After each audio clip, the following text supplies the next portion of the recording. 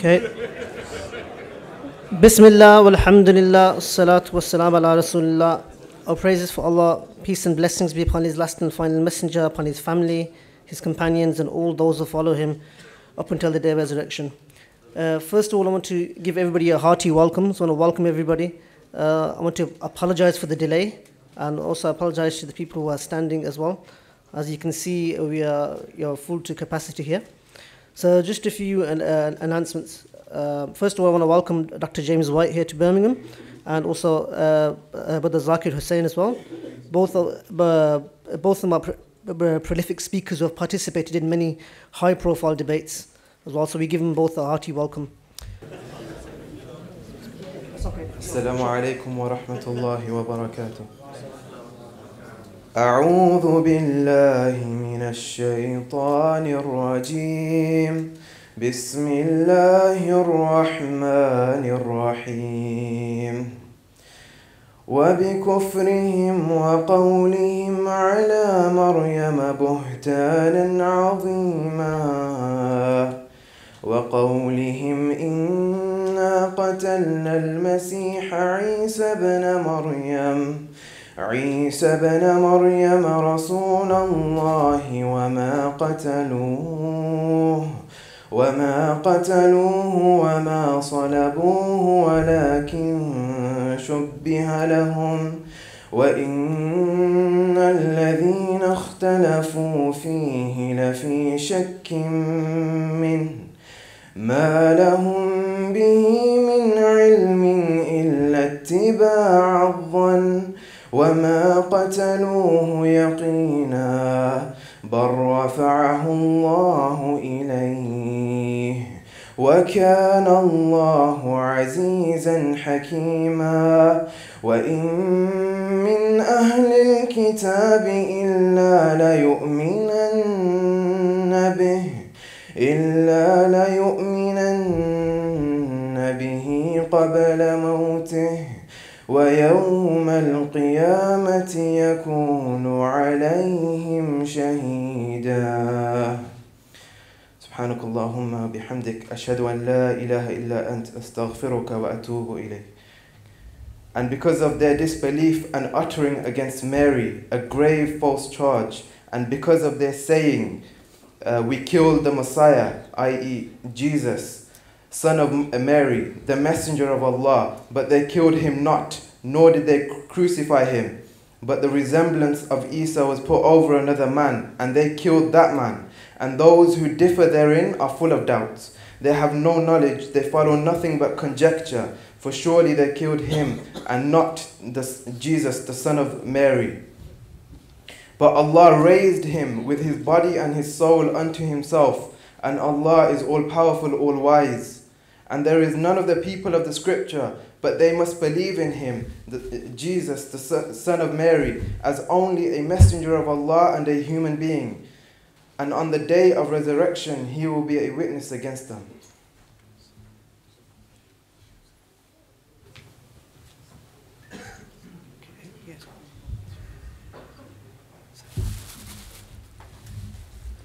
The words of the prophet Isaiah, Isaiah 53.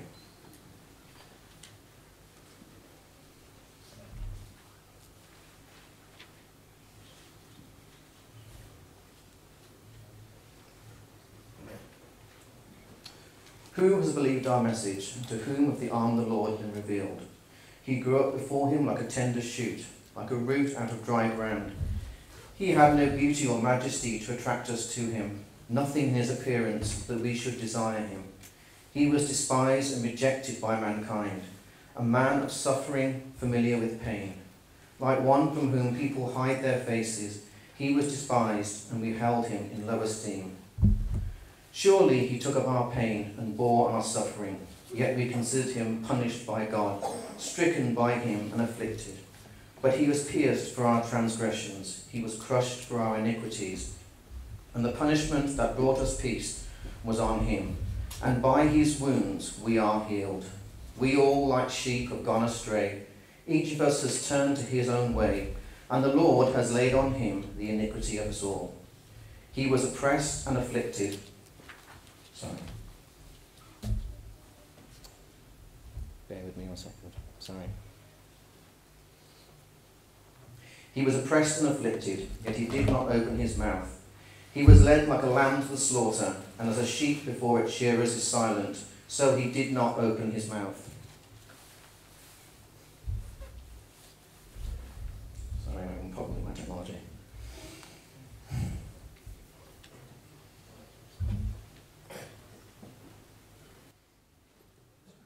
Sorry, bear with me.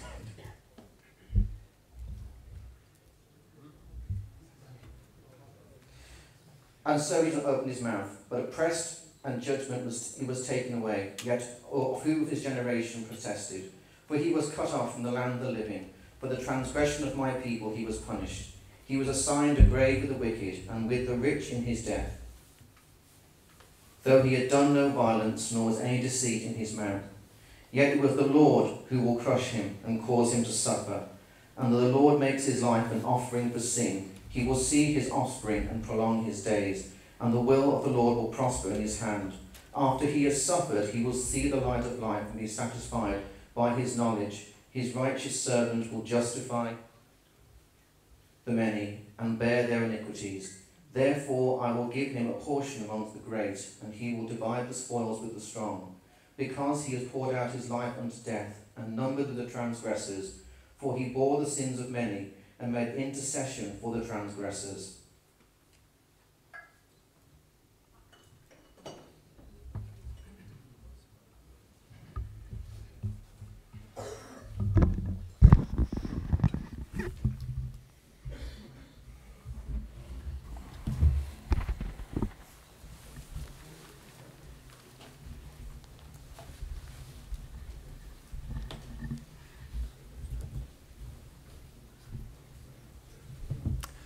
Well, good evening to everyone. I hope you don't mind if I stand. Uh, if I sit, I figure I'm lecturing in a lecture hall, and you all need to be taking notes and have a final exam to be preparing for, or something like that. It's good to be with you. It's great to see such a big crowd. We have people standing around outside. Uh, it's good to see a, a good mixture of folks. I hope afterwards there will be some good conversations between the Christians and the Muslims who have gathered here this evening. I hope you didn't come to hear, uh, see some kind of prize fight. I have no interest in trying to go for a knockout blow or anything along these lines. Um, we are here to talk about very important things, and I am convinced that the attitude that you bring to these issues represents how much you actually honor the topics that are being discussed. And so I think there is a, a way in which these things should be discussed with one another. We do not believe the same things, Christians and Muslims, on this subject. We cannot because of 40 Arabic words in your scriptures and because of many, many Greek words and Hebrew words in our scriptures. We believe different things, and this is the heart of where our difference lies as to what Jesus Christ did, what he accomplished, and what took place, especially in regards to the cross of Calvary, therefore the resurrection, etc., etc. But this subject must be addressed, I believe, in a respectful fashion by, by everyone. And I hope that's what we will have taking place this evening. It is an honor to be invited here, uh, and I'm very thankful to have this opportunity to, to be with you. I would say that the Christian faith is centered upon the cross of Jesus Christ. We do not worship the cross, we worship the one who made us. And we believe that in the person of his Son, he entered into, his, into human existence uh, as the person of Jesus Christ, who voluntarily gave himself upon Calvary's tree. And hence the Apostle Paul could say in Galatians chapter 6 May it never be that I would boast except in the cross of the Lord Jesus Christ, through which the world has been crucified to me and I to the world. As a Christian, each and every day, I interact with the world around me as a person who has died with Christ. Uh, the Bible teaches that I've been united with him, and therefore, if I'm united with him in his death, therefore his burial, his resurrection, the new life that I have is because of what Jesus Christ has accomplished. And so the cross is an everyday reality to the believing Christian. Notice I said the believing Christian. Uh, we know that there are, are Muslims who are Muslims in name only. They don't really pray the prayers, they don't really believe things. There are Christians who are Christians in name only, just cultural Christians. Tonight we're having a conversation between believing Muslims and believing Christians, people who really believe that what we uh, confess and what we profess is true. And for a believing Christian, every day is the reality of the cross of Jesus Christ. So this is an extremely important issue. Now, all the way back to the period of the early church, we have testimony concerning the crucifixion of Jesus Christ. Around AD 107 to 108, we have the testimony of Ignatius, the bishop of Antioch. Uh, and he says, I glorify Jesus Christ. Please notice his language, by the way. This is some of the earliest writing outside the New Testament. I glorify Jesus Christ, the God who made you so wise, for I saw that you were established in an unshakable faith, having been nailed, as it were, to the cross of the Lord Jesus Christ in both body and spirit and firmly established in love by the blood of Christ, totally convinced with regard to our Lord that he is truly of the family of David with respect to human descent, Son of God with respect to the divine will and power, truly born of a virgin, baptized by John in order that all righteousness might be fulfilled by him, truly nailed in the flesh for us under Pontius Pilate and Herod the Tetrarch. From its fruit we derive our existence, that is, from his divinely blessed suffering in order that he might raise a banner for the ages through his resurrection for his saints and faithful people, whether among Jews or among Gentiles, in the one body of his church. This is written by the first generation after the time of the apostles.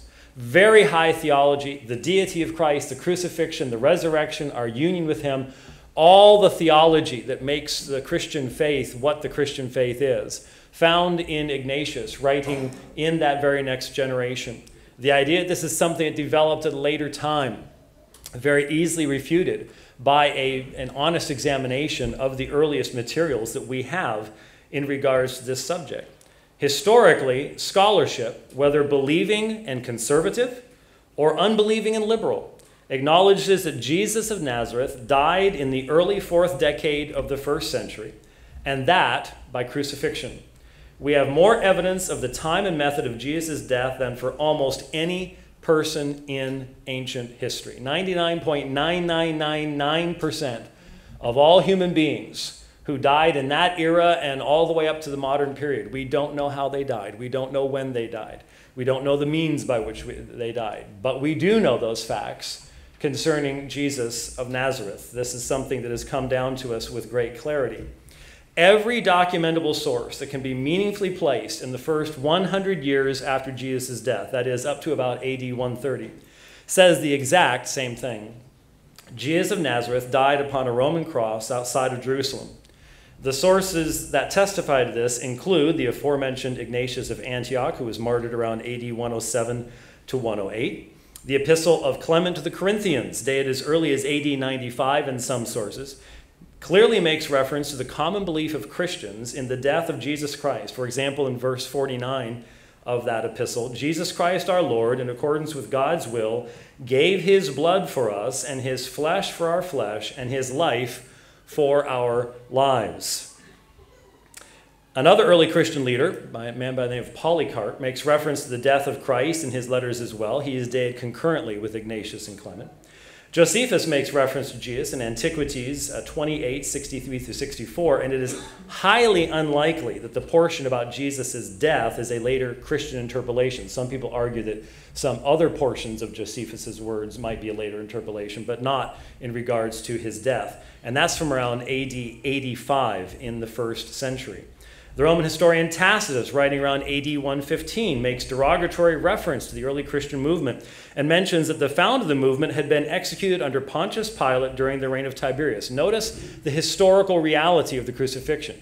You, you know who was in charge Pontius Pilate, Herod the Tetrarch. This is something Ignatius mentioned. This is something Tacitus mentions. This is not how myths and fables are, are presented to us. Uh, this is something that took place in history. There simply is no evidence of conflict or confusion on the matter of Jesus' death by crucifixion in any of these sources. In fact, John Dominic Crossan, uh, the co founder of the Jesus Seminar, a, a man way, way, way to my left, um, uh, says these words. He says that he was crucified is as sure as anything historical can ever be since both Josephus and Tacitus agree with the Christian accounts on at least that basic fact. Now, you need to understand, Crossan is about as much of a skeptic as you can get. He's a great guy. Uh, he's a really nice guy. Uh, I've told him that he's my favorite heretic. And uh, so he, he accepts that. And, uh, uh, but he's as far away from my position into liberalism as you could possibly go. And yet, even from his perspective, uh, this is a certainty in regards to Jesus' life. And of course, another individual that I've also debated, Bart Ehrman, uh, says one of the most certain facts of history is that Jesus was crucified on orders of the Roman prefect of Judea, Pontius Pilate. And again, uh, uh, Ehrman is not a Christian. He is a former Christian. That makes him an apostate. Uh, but he is probably the, the best known English speaking critic of the uh, Christian faith uh, around. And he says one of the most certain facts of history is that Jesus was crucified. Of course, the most important witness of the crucifixion of Jesus is to be found in the multiple witnesses comprising what is called the New Testament. Despite the skepticism of atheists and liberals, the New Testament presents to us multiple streams of witness, with important elements of that witness coming from within less than a matter of a few years from the time of the death of Jesus. The testimony, including 1 Corinthians chapter 15, verses 1 through 5, provides an ancient creedal statement of the church which includes the direct uh, assertion of the crucifixion, burial, and resurrection of Christ. These words predate Paul's use of them by a number of years, placing them in the most primitive possible time frame, some believe within 18 months of the actual events themselves. These are not things that developed over time as people were trying to make things up. This is as primitive as you can go. The Pauline corpus of writings presents to us firm, contextual, historical witness to the belief the crucifixion of Jesus dating to as early as AD 48. Given that his letters were sent to cities all around the Mediterranean, clearly the belief in the death of Christ by crucifixion was widespread, despite how repulsive the idea was to the intellectual elite of the day. If anybody tried to make up a religion that would be popular in the Roman Empire, this was not the way to do it. Crucifixion was repulsive to people. There were certain people who wouldn't even use the, ter- the term. They considered it almost off color uh, because it was such a horrific way to die. We'll have more to say about that later on. There is no compelling reason outside of embracing naturalistic principles. To date, the gospel is as late as most modern scholars do. Strong internal arguments can be presented for a pre AD 70 date for the synoptic gospels, Matthew, Mark, and Luke. And if in fact Luke Acts was meant to be an amicus brief for Paul's trial, this would put Mark, if it was written earlier, into the mid 40s. That's very, very, very early. Theologically, the crucifixion is central and definitional to the entirety of the proclamation of the gospel. What were Christians doing all those years? They were proclaiming the death, burial, and resurrection of Jesus Christ. It is the self giving of God in his Son, the reality of his wrath, the necessity of atonement, the perfection of the God man's work as high priest, as sacrifice, and as mediator that forms the very bedrock of the Christian message itself from the very beginning in the earliest sources. Muslims accept Jesus as a prophet, yet repeatedly Jesus himself spoke of his impending death at the hands of the Jewish leaders in Jerusalem. For example, in Mark chapter 8, verses 31 through 32. And he began to teach them that the Son of Man must suffer many things and be rejected by the elders and the chief priests and the scribes and be killed, and after three days rise again. And he was stating the matter openly. Gospel of Mark, considered by many to be the earliest, very clearly, this is Jesus teaching that the Son of Man must suffer many things and be rejected and be killed, and after three days rise again. In fact, Jesus said it was necessary that this take place in Luke chapter 22. For I tell you that this which is written must be, the Greek term there is dei, which means it is necessary, fulfilled in me. And then he quotes from Isaiah chapter 53. And he was numbered with transgressors, for that which refers to me has its fulfillment. Jesus says Isaiah 53 is about him. That is his teaching.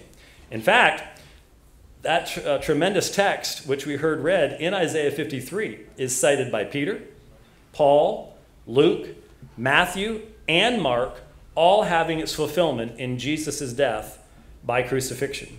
There is no question the earliest New Testament traditions focus upon the cross as a prophetic fulfillment.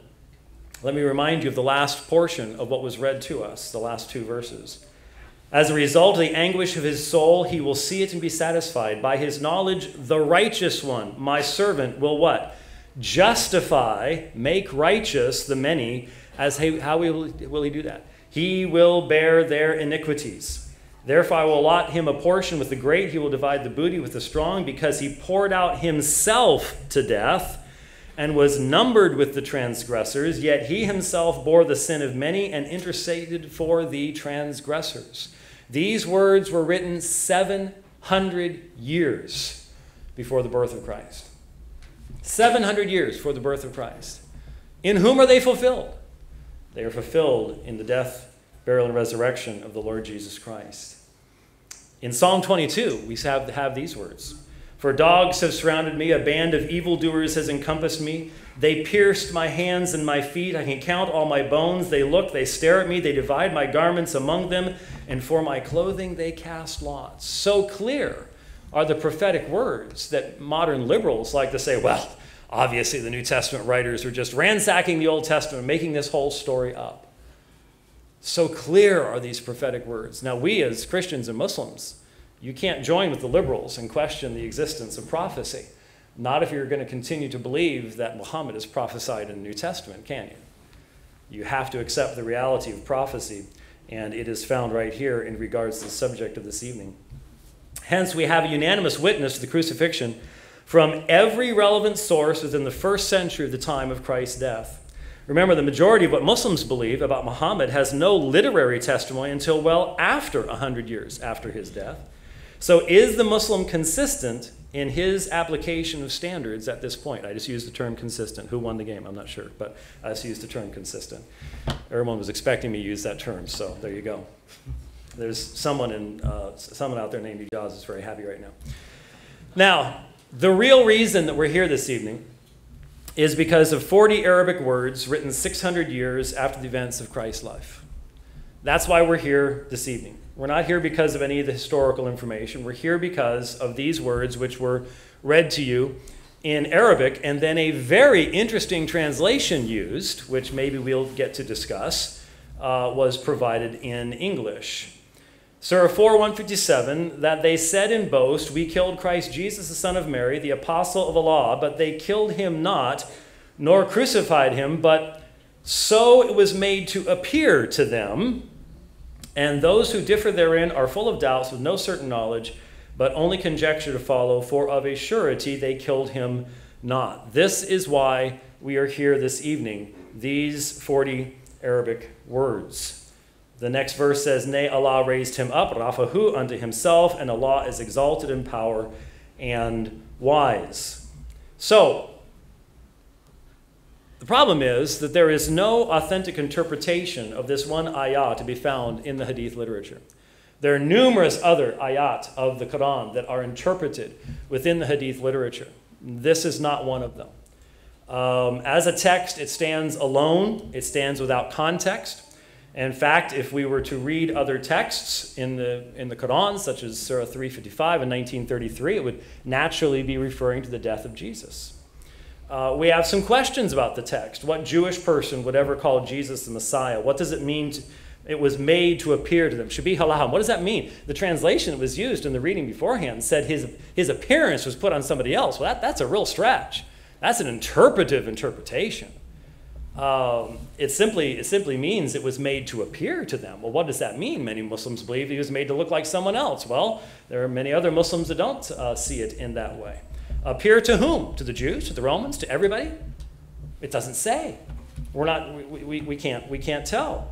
It is not clear. As I said, both Surah 355 and 1933 both speak of Jesus' death, as long as you translate them correctly. Surah 1933 is parallel to Surah 1915. Look at the Arabic there. And the words in Surah 1915 are applied to John the Baptist, who surely died, because if you don't remember, how did John the Baptist die according to the Bible? He was beheaded. Uh, I can assure you that is a very effective means of bringing about death. There isn't any question about John the Baptist's death, yet the very same words are used of Jesus. 40 Arabic words written 625 years after the ministry of Jesus in a different culture, 765 miles from Jerusalem, no firsthand contact in a completely different language. And what we're being asked is to take all the united testimony of everything from the first century, of all the apostles of Jesus, the original followers of Jesus, the next generation after Jesus, the, the secular historians, We are supposed to uh, abandon the consistency of the fact that Romans, especially in Judea, had been using crucifixion a great deal at this point in history. All of the historical sources confirm that they were utilizing this as a method of seeking to control the people. And so we have the consistency of who was in control, what was going on at that time, the history is right, the names are right, the dates are right, the times are right, and all the sources say the exact same thing. And yet we have 40 Arabic words from 600 years later upon which all of that is to be dismissed. You can see why, as Christians, we truly have a problem with that. So, the unanimous testimony of the relevant historical sources from the first century after Jesus all testify to his crucifixion in Jerusalem under Pontius Pilate. Both secular and religious sources testify to this fact in numerous ways.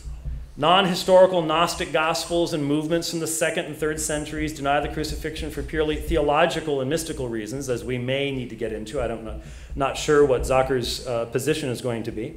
And as such, those, if we do hear them raised, are utterly irrelevant to any serious, truthful examination of the issue. Jesus and all his apostles not only taught about the crucifixion, the entire message of the Christian faith and of the prophetic witness that testified to him as the Messiah is bound up in this single redemptive act culminating in his resurrection from the dead. And so here's what I, I want to communicate this evening to all of us. We can have meaningful discussion. I've heard various objections. Well, you know, maybe some of the Gnostics did have some historical foundation, what they were saying, or, uh, you know, what about uh, the possibility maybe we could see some difference in approach between the synoptic gospels or something, and uh, all that kind of stuff. We can talk about those things, but let's just make sure that both sides understand what's being, being discussed this evening. As a Christian, I want the Muslims to understand what you're asking me to do.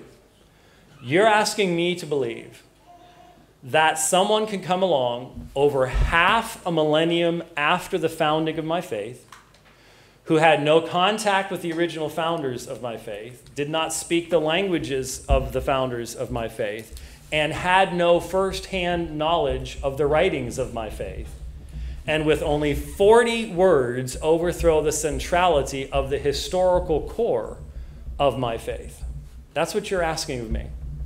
And I, have always asked my Muslim friends put yourself in my shoes. If someone comes along 600 years after Muhammad, not knowing Arabic, not knowing the Quran, living somewhere in France, and says that the Miraj and Isra never took place, um, that you should not be reading the, the, the Quran. It was not sent down from God. Uh, and I say this because I'm a prophet. Now, that's exactly the situation that you would be in that you're asking us to put ourselves in when you deny with only 40 Arabic words without, and they are unclear. We don't know exactly what they mean or what they're saying. Could it just be saying that the Jews didn't do it, the Romans did? That is a possibility, grammatically speaking. And since there is no authentic hadith narration of interpretation of this text, who's to say? That's why there have been many interpretations down through history. And so, this is the issue that we are facing this evening. Now, as a Christian, let me say to my Muslim friends, you need to understand something. Many of you will say, well, you know, Christians are cross worshippers. Well, I, I imagine you've probably seen some people bowing down before crosses and things like that. And doing things that they should not do in a lack of purity of worship. I get it. But you need to understand why the cross is so central. Not that we worship the cross, the cross itself is an instrument by which Jesus voluntarily gave his life. What you need to understand, I hear what the Quran is saying. If you look carefully at the Quran, look at the other places where crucifixion is mentioned. I think for the author of the Quran, Jesus could not have been crucified because the only people that are crucified are bad, evil opposers of God, and Allah would not allow one of his prophets to die in that way. I think that was the primary argument that was being made there. I get it, I hear it. What's the response to that? To understand what the author of the Quran never heard, and those were the words of Jesus in the Gospel of John No one takes my life from me, I give it of my own accord. Jesus voluntarily gives his life. It is the purpose of the Father and the Son and the Spirit to glorify themselves in this specific manner. It's freely done out of his great condescension to us. You see, when we look at the cross, my friends, what we see, first of all, is the holiness of God.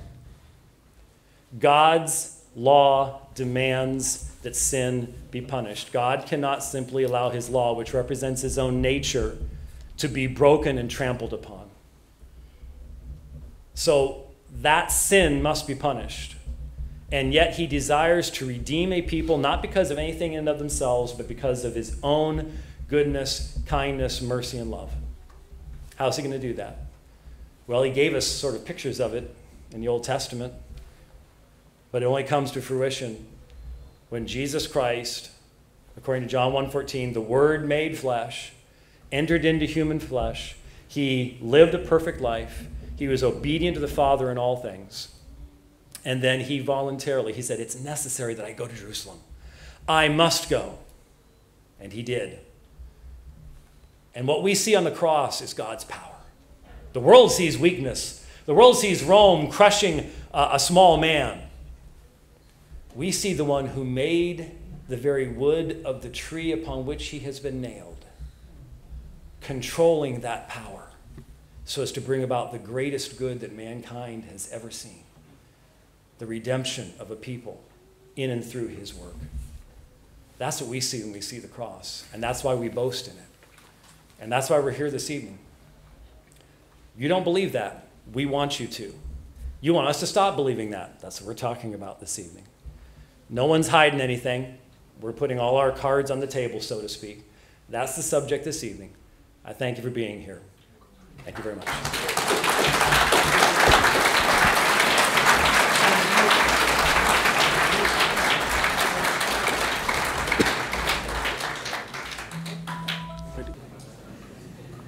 Ready to go?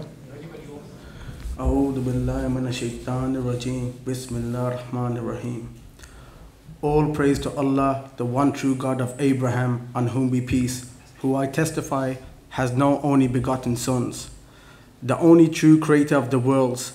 May he shower these blessings on all the prophets, especially the last and final messenger, Muhammad al-Mustafa, on whom be peace. May he continuously give us the means to defend the true status of the Messiah, Jesus, son of Mary, on whom be peace, and may he guide us and keep us all on the straight path. I would firstly like to thank the brothers who organized this debate, especially Brother Tasneef, who worked very hard behind the scene, and also the brother for moderating.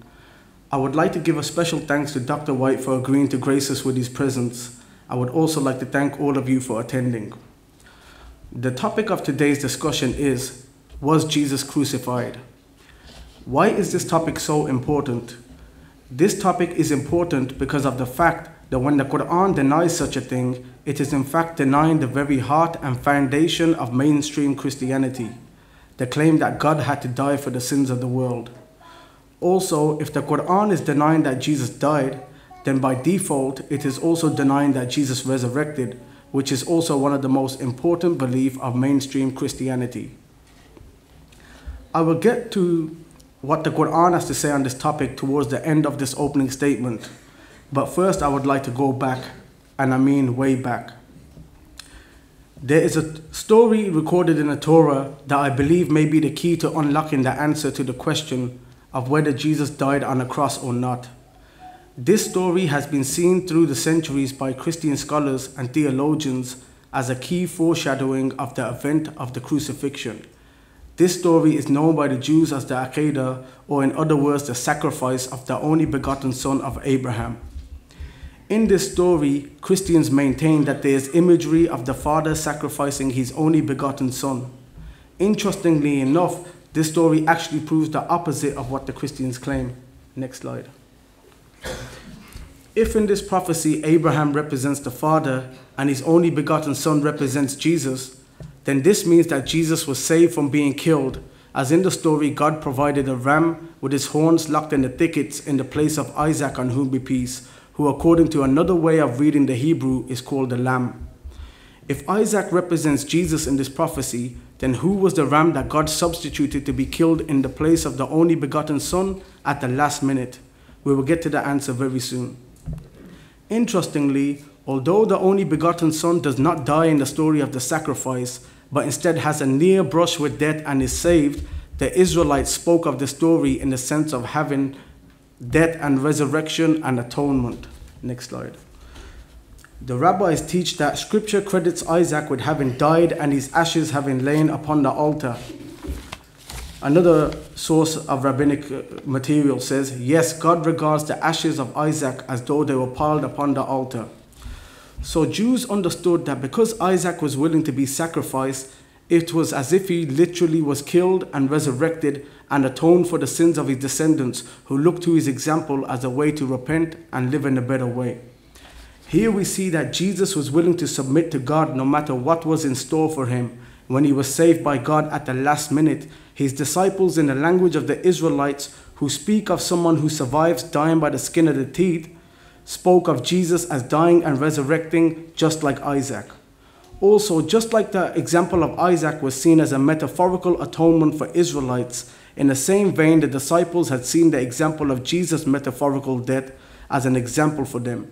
This is confirmed by the theology of Luke, which does not promote vicarious atonement, but the theology of Jewish martyrs, where people who give their life for God cause other people to repent, and thus these martyrs are seen as atoning for the sins of others. Next slide. Now let us get to the question of how Jesus was saved. It is reported in the Gospels that Jesus prayed to be saved from the cup of crucifixion in Mark, Matthew, and Luke. In Matthew chapter 26, verse 39, it says, Going a little farther, he threw himself down with his face to the ground and prayed, My Father, if possible, let this cup pass from me. Yet not what I will, but what you will. In this prayer, no less than three times did he ask God to be spared from being crucified, but yet, as a true submitter to God, he left it in the hands of God by saying, Not my will, but your will be done. Muslims maintain that God had accepted the request of his beloved Messiah, as it is attributed to Jesus in John chapter 11 that God always accepts his prayers. Next slide. Also, another passage in the New Testament confirms that Jesus' prayer was accepted by God.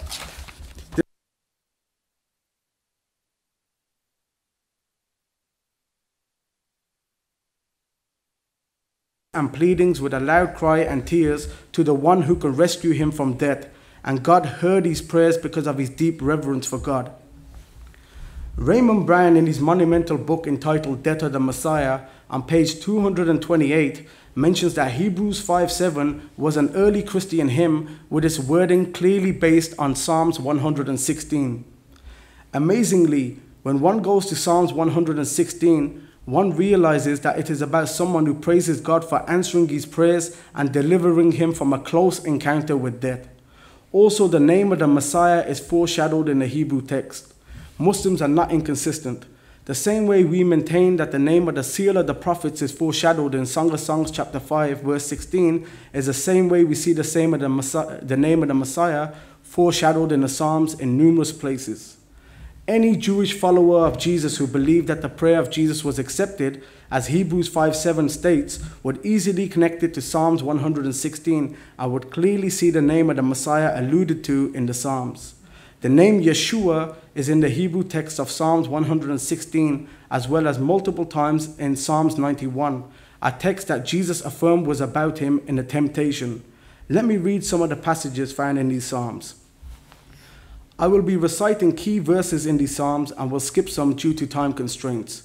I would like everybody to pay attention to the Hebrew idioms that seem to sound like they are talking about somebody dying and resurrecting, when in reality, every single time it is speaking about somebody coming close to death but actually being saved, saved from dying. Also, please remember that Jesus prayed to be saved from dying in the first place Bear this in mind when I recite verses where the Psalms say God heard his prayers. Next slide. Psalms 116. I love the Lord because he heard my plea for mercy and listened to me. As long as I live, I will call to him when I need help. The ropes of death tightened around me. Verse 6 I was in serious trouble and he delivered me. Yeshua is in the Hebrew. Verse 13 has the name Yeshua in it. Any Jewish Christian who followed Jesus would see clear cut allusions to the name of the Messiah in the text. Verse 16 Yes, Lord, I am indeed your servant. I am your slowest, uh, lowest slave. You save me from death. Next slide. Psalms 30 I will extol you, O Lord, for you have drawn me up. This is about the ascension. And have not let my foes rejoice over me. O Lord, my God, I cried to you for help, and you have healed me. O Lord, you brought up my soul from Sheol. You have kept me alive, that I should not go down to the pit. Next slide. To you, O Lord, I cry, and to the Lord I plead for mercy. What profit is there in my blood? Now, Christians tell us that there is profit in the blood of Jesus. It atoned for the sins of the world. Yet, this rhetorical question is implying there is no profit uh, in the blood of Jesus. Psalms 86, verse 6 Give ear, O Lord, to my prayer, and give heed to the voice of my supplications. In the day of my trouble, I shall call upon you, God in Gethsemane.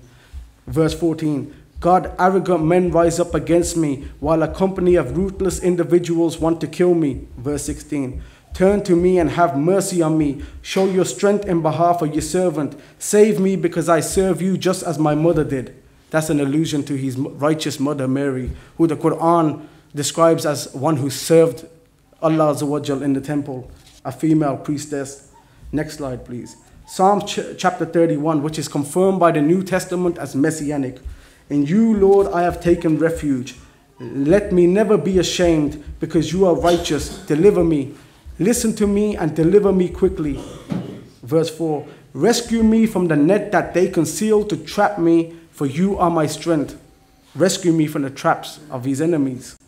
Verse 8 You have not delivered me into the hand of the enemy a messianic psalm that the New Testament confirms, which makes it clear that Jesus was not delivered into the hand of the enemy. Next slide. You may be wondering why am I quoting so many passages, but this is to emphasize what God foretold again and again regarding the beloved Messiah praying to him to be saved and how God will answer the prayer of Jesus and save him from the crucifixion. The prayer of the Messiah was not to die and then resurrect after two nights and one day, but to be saved from dying on the cross at the hands of his enemies in the first place. Psalms 118, verse 5 I called on the Lord in my distress. The Lord answered me openly. Verse 17 I will not die, but I will live to recount the deeds of the Lord. The Lord will discipline me severely, but he will not hand me over to die. I will praise you because you have answered me and have become my deliverer. The stone that the builders rejected has become the cornerstone. This is a messianic psalm which makes it explicit in verse 18 that he will not be handed over to die. Next slide, please. Psalm chapter 20, verse number 6, which can be translated in a future tense. Now I know, now I know that the Lord saves his Messiah. He will answer him from his holy heaven with the saving might of his right hand. Answer what? What did the Messiah pray for? To be saved from the cross in the first place. Please remember that. Psalm chapter 91, also confirmed by Jesus in the New Testament, which confirms the substitution theory. Verse number 8 You will only observe it with your eyes, and you will see how the wicked are paid back, for he will command these angels to protect you in all your ways. With their hands they will lift you up. Ascension again. So you will not trip over the stone. You will stomp on lions and snakes. You will trample young lions and serpents. It is interesting how many early Christians believe that Jesus was watching somebody else being punished on the cross, as verse 8 of Psalm 91 alludes to. And Luke mentions how angels came to strengthen Jesus straight after his prayer to be saved in Gethsemane. It is clear, according to the Psalms, that the enemies of the Messiah will hatch a plot to kill him and that he will pray to be saved, and although he will come close to dying, God will save him. Since this is what the prophecies foretell, then this had to be what happened to Jesus and if this is what happened to Jesus, then this had to be what his disciples were preaching. So if the disciples were saying that Jesus rose from the dead, then it was clear that in an Israelite context, they were using metaphorical language regarding him coming close to death and being saved by God, just like Isaac. Even Prophet Jonah metaphorically referred to himself in a way as if he was dead when he was actually alive in the belly of the fish. Next slide. Jesus had foretold that he would be just like Jonah was in the belly of the whale. This saying is found in an early source of Jesus' sayings known as Q, which some scholars date back to the very decade of Jesus' ascension. As even a Sunday school child knows that Jonah was alive and not dead when everybody may have thought he was dead. In the same way, Jesus was clearly saying that he would be in the same state as Jonah, which means Jesus was also alive when everyone thought he was dead. Matthew added the time factor of three days and three nights to the word of Jesus, as it is a clear false prophecy attributed to Jesus. I would like for Dr. White to tell everyone here whether Jesus was alive like Jonah or not according to his own saying, and I would like Dr. White to explain how the time Jesus was allegedly in the tomb adds up to three days and three nights. Now we know in history there were Christians who maintained that it was actually Simon of Cyrene who died on the cross and not Jesus. This view originates to the first Christian century and even predates the Gospel of John which tried to respond to those Christians who believed in such a thing. The claim that Jesus was not on the cross is endorsed by the prophecies in the Psalms, especially Psalms 91, which says he, was, he shall only see the punishment of the wicked. Also, another fact to support the claim that it was actually Simon who was on the cross and not Jesus is found in the Synoptic Gospels themselves. Let's read the following passages very carefully and pay special attention to the pronouns. Next slide. How long do I have? 11 minutes. Fine. Mark chapter 15. A certain man from Cyrene, Simon, the father of Alexander and Rufus, was passing by on his way in from the country, and they forced him to carry the cross. They brought him to the place called Golgotha. Then they offered him wine mixed with myrrh, but he did not take it. And they crucified him, dividing up his clothes. They cast lots to see what each would get. It was nine in the morning when they crucified him. Who is the him referring to in these passages? It is clearly referring to Simon of Cyrene. In fact, this has not escaped the attention of Bible scholars, which is why in many English translations of the Bible, they add the name Jesus in the place of the pronoun him into the text. The question is why? It is because they know that people may read it in a way that seems like it was Simon of Cyrene who was actually crucified. This is even confirmed by the Revised Standard Version of the Bible, which in the text says Jesus, but in a footnote clarifies that the Greek says him. Next slide. Just in case anyone entertains doubt on whether it was Simon on the cross, I have more proof that it was not Jesus on the cross.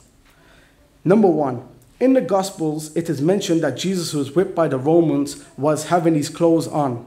Anyone who studies Roman methods of whipping would know that the whipping was severe and truly barbaric. Roman whipping was so bad that some people would die from the whipping alone. They would use the type of whips that were designed to rip people's skin off and expose their guts and veins, etc. Next slide. Now, since Jesus was whipped with his clothes on, then this means that his clothes would have been torn up and bloody to the point of being shredded up. Yet the person who was on the cross had clothes that were decent enough for the Roman soldiers to want to divide up between themselves and keep. What would Roman soldiers do with clothes that were torn apart and filled with the blood and guts and veins of a Jewish man? Next slide. The fact that the clothes were in a decent condition shows that the person on the cross was not the same person who was whipped by the Romans earlier. Next slide. Number two. In Luke chapter 22, Jesus made a prophecy that he would not drink wine again until he is in the Father's kingdom. Yet the person on the cross drank wine as confirmed in John chapter 19, verse 29. So Christians have a dilemma. Either Jesus was on the cross and drank wine, which would make Luke 22 a false prophecy, and thus would mean a false prophet died for the sins of the Christians, or the person on the cross who drank the wine was not Jesus. I'll let Dr. White decide which option he prefers. Next slide. Point number three Jesus in Luke chapter 13 33 made it clear that it was impossible for him to die outside Jerusalem. Yet the person who died on the cross died outside Jerusalem. The Gospels make it clear that Calvary was outside the city. So once again, Christians have a choice. Either Jesus made a false prophecy when he said that it is impossible for him to die outside Jerusalem, or the person who died on the cross was not Jesus. I'll let Dr. White decide. And please bear in mind that Dr. White, openly in his first opening statement, clearly said Jesus died outside Jerusalem. Please remember, he used those exact same words. To sum up what I've said so far, the story of the binding of Isaac in the Torah, which Christians say foretells the Passion narrative, shows that someone else died in the place of the only begotten Son. Number two, The disciples were using metaphorical language regarding Jesus dying and resurrecting and even atoning for sins, just like Israelites used these terms for Isaac, who never actually died but came close to being killed. I would like Dr. White to confirm whether what I am saying is correct that Israelites used the language of dying and resurrecting for Isaac, who never actually died. I'd like him to ad- address that, please. And if that is the case, then that proves my point that the disciples used the same terminology for Jesus. Even Jonah used metaphorical language regarding himself on the belly of the whale, language that shows he was dead in a sense when he was actually alive. Number three, Jesus prayed to be saved, and his prayers were accepted as a sign of Jonah in Q confirms. Hebrews 5 7 confirms. The prophecies in the Psalms confirm. Early Christians who say that it was Simon who died on the cross confirm. And some of the reasons I gave as to why it wasn't Jesus on the cross confirms. Now, the question is if the disciples were preaching that Jesus died and rose in a metaphorical sense, then how did Christianity end up being based on the claim that Jesus literally died and rose from the dead? We, we can thank Paul for this. When he went into Gentile circles to preach, he distorted the meaning of the Hebrew idiom into meanings that were foreign to Israelites. Let me give you an example.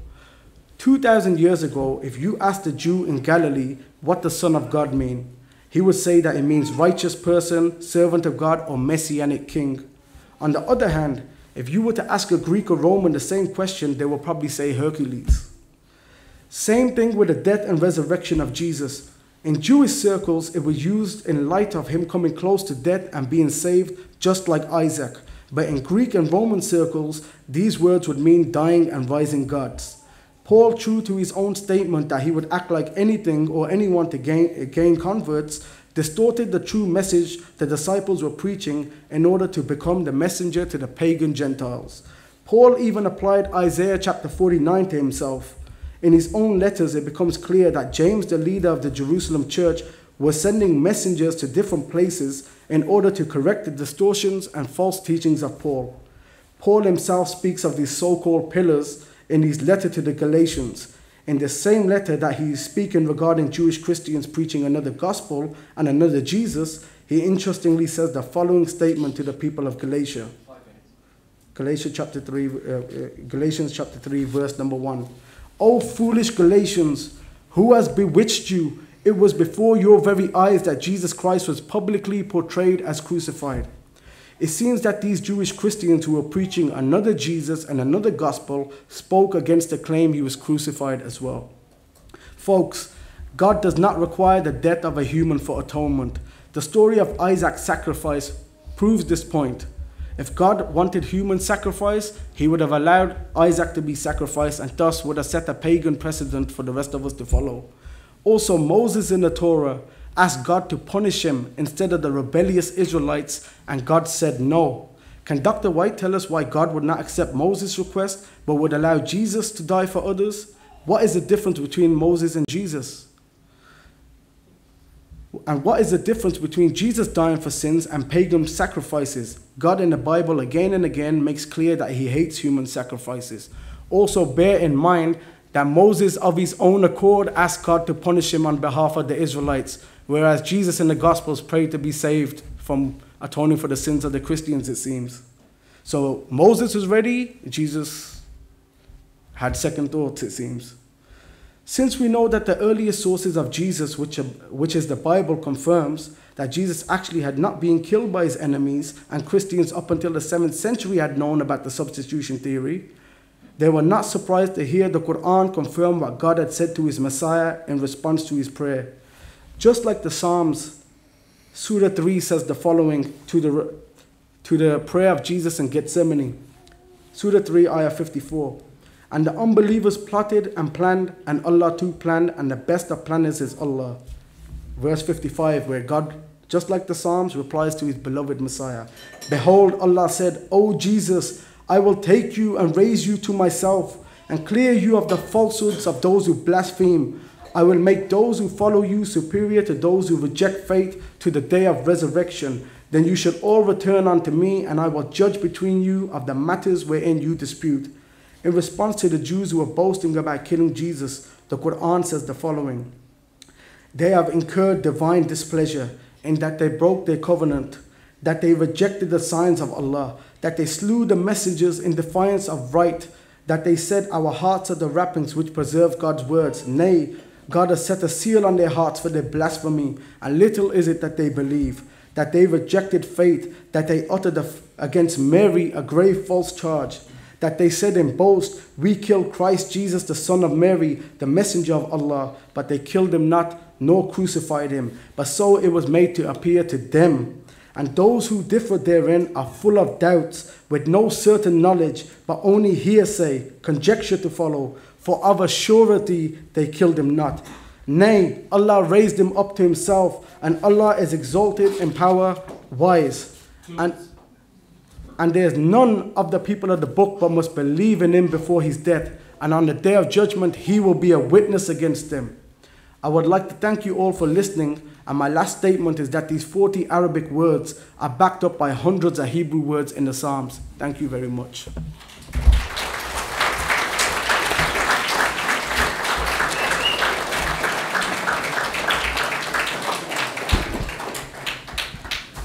Five minute break. All right. Let's, uh, let's get started. Well, I only have 10 minutes, and to try to respond to 25 minutes in 10 minutes is very, very difficult to do indeed.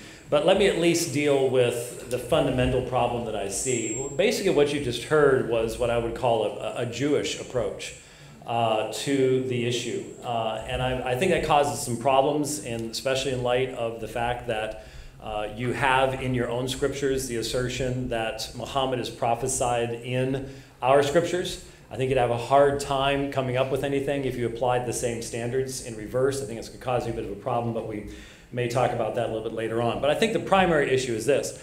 The Jewish apologetic rejects the idea that the fulfillment of a prophecy can be greater than the parameters of the original prophecy itself.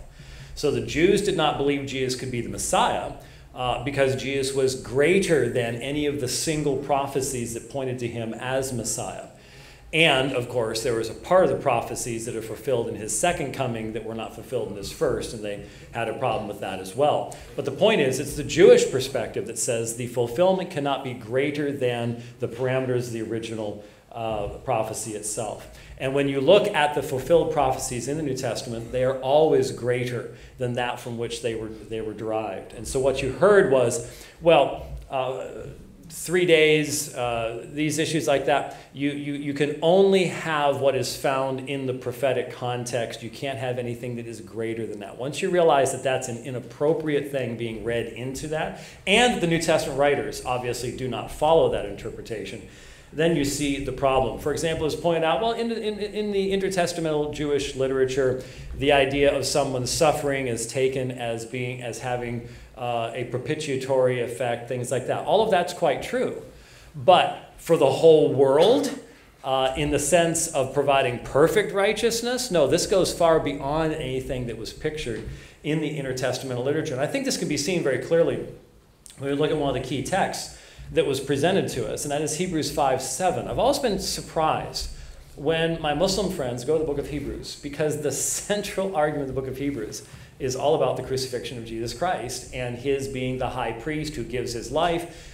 If, if you think that the writer to the Hebrews was in any way saying that Jesus does not, he goes into the holy place carrying his own blood for crying out loud. It's so clear. It's the, it's the essence of the entire argument of the book of Hebrews. So to take one of the verses and say, well, what he's actually saying is that Jesus wasn't crucified, is really to completely miss the point of the book of Hebrews. So we, we have in Hebrews chapter 5, verse 7, the assertion uh, no, I don't want to talk to you, Siri. I want to do something else. uh, we, uh, we have the assertion, Hebrews 5 7, he offered up, in the days of his flesh, he offered up both prayers and supplications with loud crying and tears to the one able to save him from death, and he was heard because of his piety. Oh, he didn't die. Well, what is death? What is death? In, in the understanding, the separation from God. Jesus was saved from death. How? The resurrection.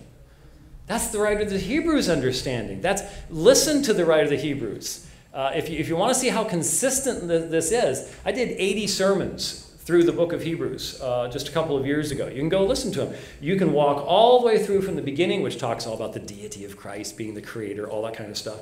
That's what the writer of the Hebrews believes, uh, who is heavily influenced by Paul. Uh, all the way through the rest of, of his writing, and it is a consistent testimony all the way through. So the only way to understand Hebrews 5 7, if you're going to honor the context from which it's taken, is that he has been saved by resurrection. He was heard because of his piety. And so when we have these, well, the psalmist said this. Well, the psalmist is always going to be a small picture, not the great fulfillment. Unless you accept the idea that the fulfillment cannot be greater than the small picture, then none of that argumentation made any sense at all. So, for example, a quotation uh, the psalmist said, What profit is there in my blood? Well, he was specifically talking about what profit is there to God if I die. In his context, that made perfect sense. That was applied to Jesus. Somehow, what profit would there be in Jesus' blood? Well, all the New Testament writers, not just Paul, but Peter, one of the original 12 apostles, all taught that because he was the sinless Son of God who gave his blood voluntarily on the cross of Calvary, the profit in his blood is the forgiveness of our sins there were a number of things that unfortunately either I wasn't typing fast enough or my old ears weren't listening fast enough, or maybe Zakir didn't give us a foundation for some of the things that he said. For example, he said early Christians believed Jesus was watching someone else die on the cross. The only story I know about that is not from Christians, it's from Gnostics. Now, I know people call them Gnostic Christians. Uh, the problem is that Gnostics are not Christians uh, any more than Jehovah's Witnesses are Muslims. And the reason for this is Gnostics believe that the God of the Old Testament is an evil deity. Now, if you think Yahweh is an evil deity, you're not a Christian. And the Gnostics were not Christians. And so I don't know, he didn't give a source, but the only stories I've heard are from Gnostic Gospels where you divide Jesus up and the Christ spirit watches the physical body die and things like that. These are ahistorical. They're second century at the earliest, normally third century. They have nothing to do with what's found in Jerusalem. And again, to, for you all as Muslims to go to Gnostic sources, you are really contradicting your fundamental principles in regards to any type of meaningful historical foundation. Let's put it this way if you're willing to go to the Gnostics, you've got no basis whatsoever for ever establishing almost any of the aspects of Muhammad's life because you just, you just can't go there. You're contradicting your historiography at that point. Um, uh, we were asked, uh, oh, I was asked, this is, this is such an easy one, uh. It's, someone's going to think that I, I, I, set you up with this or something like that. But you said, you said, Dr. White, explain how it can be three days and three nights. Now you already know the answer to this. You've, you've, come on. Uh, was that just stuck in the notes from some time back in the past? I don't know. But we all understand, and the only way to make sense of almost anything in the chronological uh, language of both the Old Testament and New Testament, in Jewish reckoning, any portion of a day was considered a full day. And so we know, you know what the, you know what the, day, the name for the word Friday in the Greek language is? Preparation day. Even to this day. Paraskeue. It's preparation day. You know why? Because it's preparation day for what? the Sabbath, which is Saturday. So all the Gospels tell us the crucifixion took place on the preparation day, Friday, and we all know that when the uh, women come to the tomb on the first day, Jesus has been resurrected. Now, how can that work? Well, part of the day is considered a day. Friday, Saturday, Sunday. So, well, wait a minute. Jonah said, you know, three days, three nights. Again, this is language that is utilized in the same way as inside and outside Jerusalem. Jerusalem could be a city, Jerusalem can be an area, Jerusalem can be a part of Judea. There's all sorts of different ways in which that takes place. And by the way, that's found not only in the New Testament, but in the Old Testament language as well. And so, uh, how could it be three days, three nights? Because that's Jewish reckoning, just as you can explain the hour differences between the Synoptic Gospels and John is the difference between Jewish reckoning of time and the Roman reckoning of time. Jewish reckoning of time starting at sunrise, the Roman reckoning of time midnight, noon, like we do it uh, today. Um, very quickly, uh, one, one other thing, just uh, going through these things a little bit too quickly, but one other thing I found it really, really interesting. Simon Simon the Cyrene, the theory predates John. I need some evidence of that. I would love to see some manuscripts of where the idea that Simon the Cyrene was the person who was crucified predates the Gospel of John. I, Zakir, I need some, I need some, some data on that one. I'd really like to hear that. And then he, you heard him read, he this, he did that, he did that. See, it was Simon the Cyrene problem is when you read the original language, Simon's referred to as tuta and Jesus is autos. They're different. There's a change in the verbal forms that is used, and nobody who actually reads the language would ever be confused about that. Um, that would be something that in my first year Greek classes, if somebody got confused about it, I'd understand, but by second year Greek, you, you shouldn't be confused by that level of thing uh, any longer. Uh, still got one minute left. What about the cup? Was Jesus a false prophet? Again, I think you can all understand that drinking the cup in the supper, either in, in the context of the Passover or in the uh, establishment of the Lord's Supper, drinking the cup is different than having a drink of wine on the cross. One is a specific act within a specific religious context. The other was not in that religious context whatsoever. So to try to make Jesus a false prophet, you know what? I could sit around with the Hadith literature and do this all day long. I'm not going to invest my time doing it because there really isn't any reason to do it. Uh, but the idea that the New Testament writers were communicating anything other than the plain words of their text that Jesus died by crucifixion, not metaphorical language, but by crucifixion, is to truly uh, be straining at gnats when they've made their, their words very, very, very clear. That's all I can get into 10 minutes, but we'll have a little bit more later on. Thank you. Did you not, did you not want this? Because you didn't seem to be looking at it. Yeah, I'll use it. But just give me one second. I'm a bit. I still ain't got my iPad. If everybody's seen my first debate with Dr. White, they know what. You should see what he's doing up here. It's, it's, it's like, it, it's very impressive, but it's a little disorganized. I thought this time Dr. White would give me an iPad as a present instead of a book. I'm very cheap. Just uh, one second, please. Dr. White mentioned Ignatius, an early person who mentioned that Jesus crucified. I've actually gonna, I've given evidence of every people earlier than Ignatius, but anyway, Ignatius himself, in a letter to the Christians of Smyrna, he sa- speaks of unbelievers who claim that Jesus only seemed to suffer. So whether Dr. White says that that's the Gnostics, the rejection of the crucifixion precedes Ignatius, which doesn't make him a very early witness. Regarding Josephus, noticed what Dr. White said, and this proves the Quranic narrative. What does the Quran say? They follow nothing but conjecture and they're full of doubts. Now he quoted Josephus and he himself said it's highly unlikely that this passage is a forgery. What does that mean? There's doubt on the matter. In fact, I got a challenge for Dr. White. Tell us who was the first person to quote this forgery in Josephus's work. I'll answer the question, but I still want to hear it from Dr. White's own mouth. Eusebius in the fourth century was the first person to quote this passage.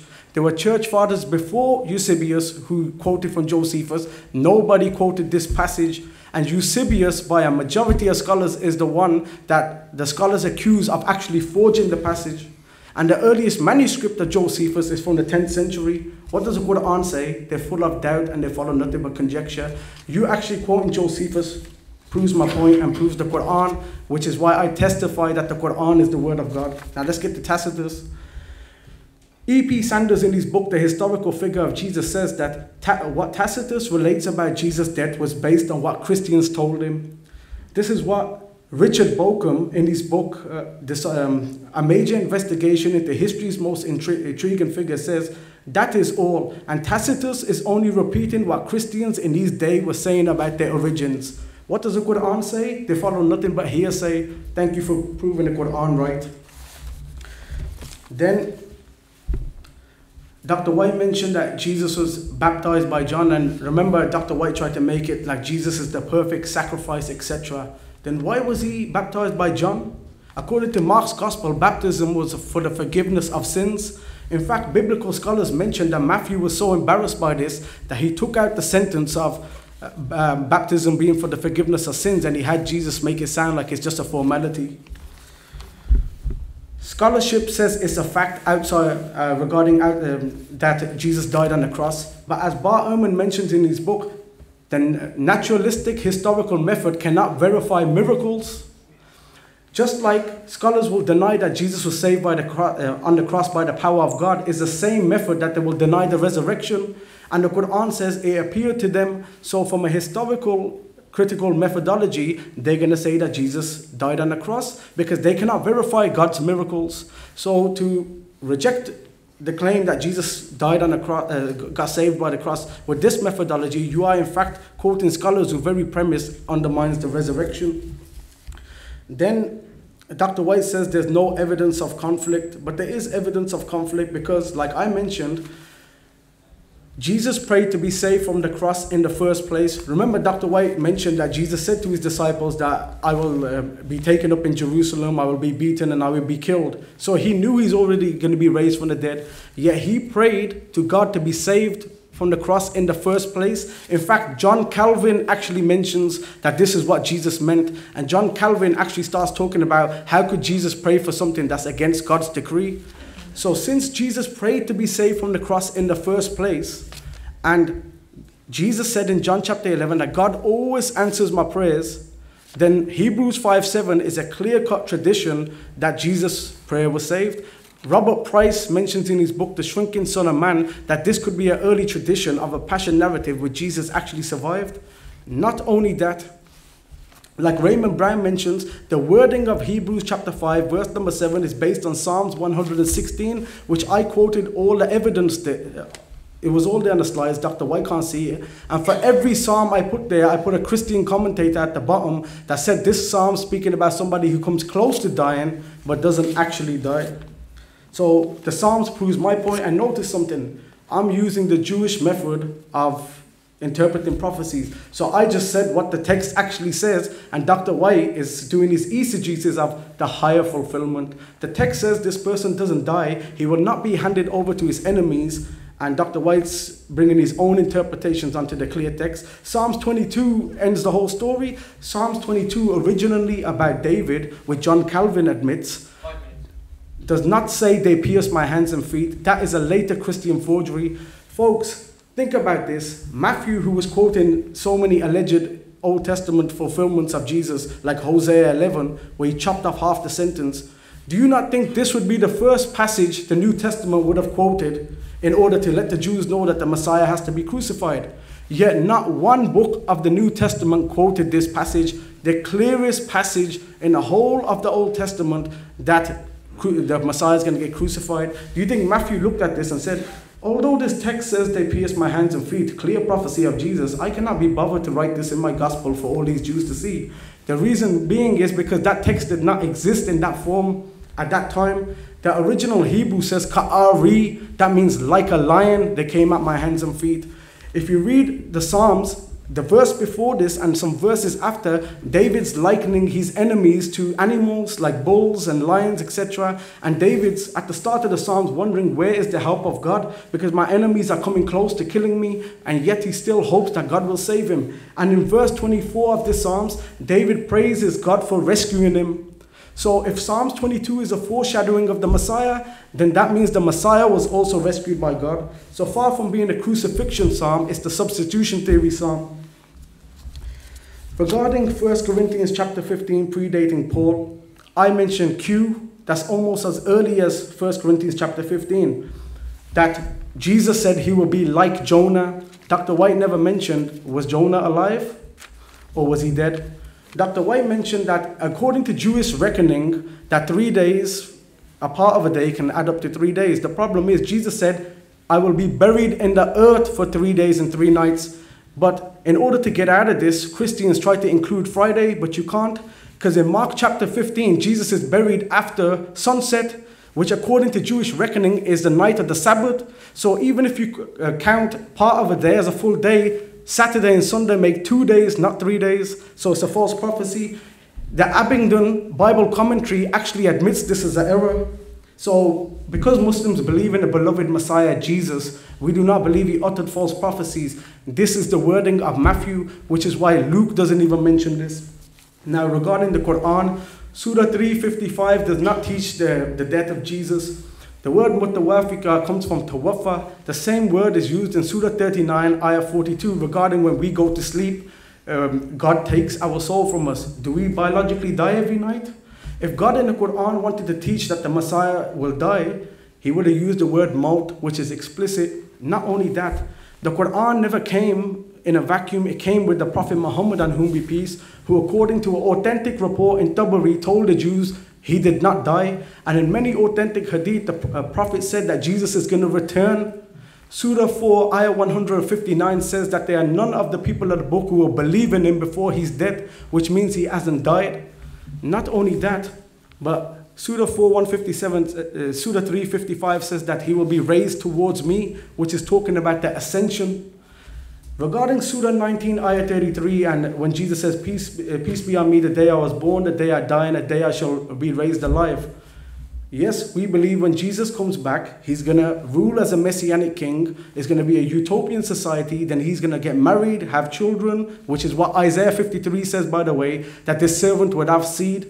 So Isaiah 53 does not actually contradict what Muslims believe because, as the International Critical Commentary mentions, Isaiah 53 is very elusive regarding the death of the um, servant of God because Isaiah 53 actually talks about him having long life after he allegedly gave himself to death. The word uh, in um, Hebrew, long life, implies a cut off date which means that this servant will die one day. Uh, giving long life to the servant doesn't mean he will live forever. It means he will live a long time, which is what Muslims believe, but he will eventually die. So the only way Isaiah 53 can be used by Christians if they believe Jesus is going to die in the future as well. Also, Isaiah 53 says, He shall see his seed. The word Zerah in Hebrew is always used literally in the Tanakh even Dr. Uh, Michael Brown, who's Dr. James White's colleague in his book, though he claims from himself that it's highly likely that Zerah can be used metaphorically, he admits every example he gives could be understood as literally. In Genesis chapter 15, regarding Abraham having no offspring, when he's talking about his metaphorical son Eliezer, the word Ben is used in Hebrew. When he's talking about him having literal offspring, the word Zerah is used. Because Zerah is the word for physical seed, and Jesus never had no physical seed. So, he, according to Christians, he cannot be the servant of Isaiah 53. But according to Islam, he can be because in the future he will have children.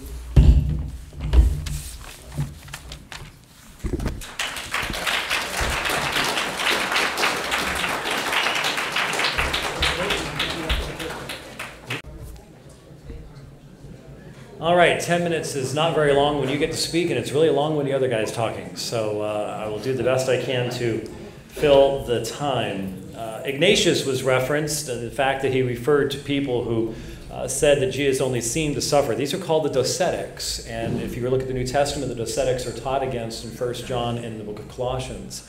And so, again, these were dualists. They believed that that which is matter is evil, that which is spiritual is good. They were not Christians.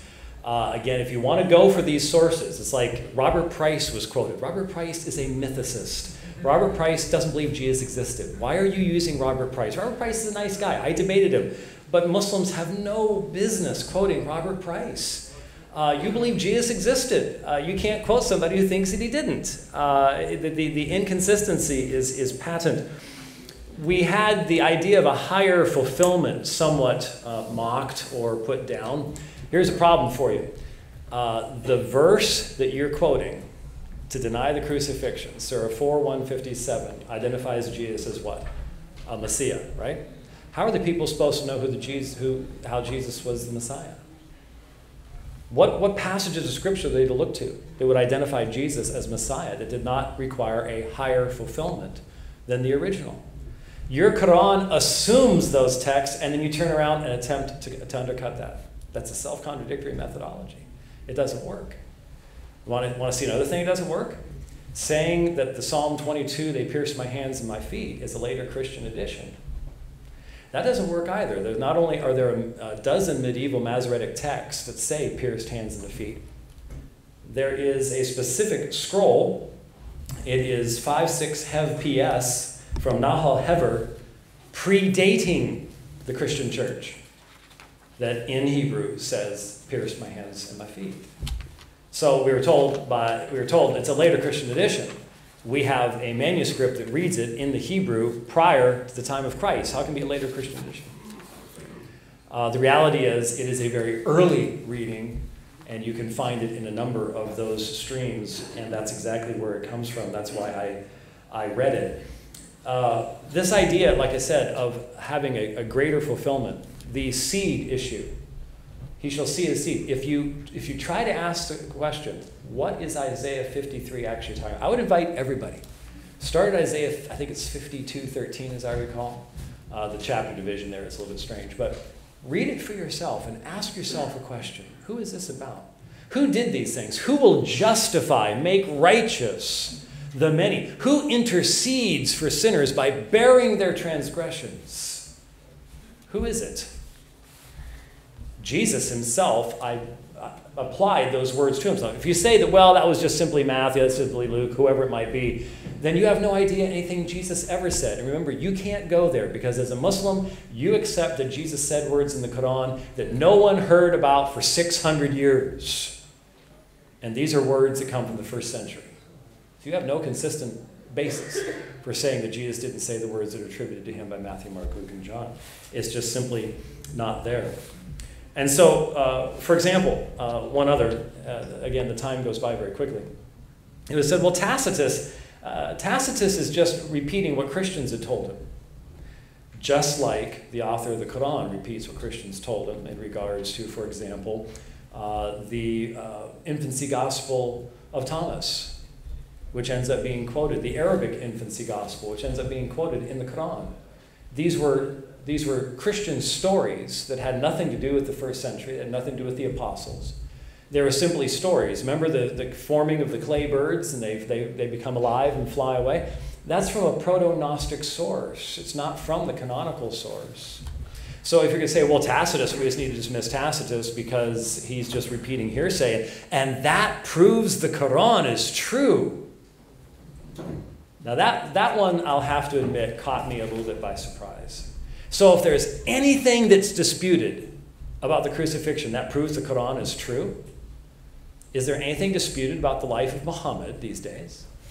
Are there not entire books being printed that say that in reality uh, the centerpiece of the Quran is not Mecca but Petra? Does that prove something? It's disputed, right?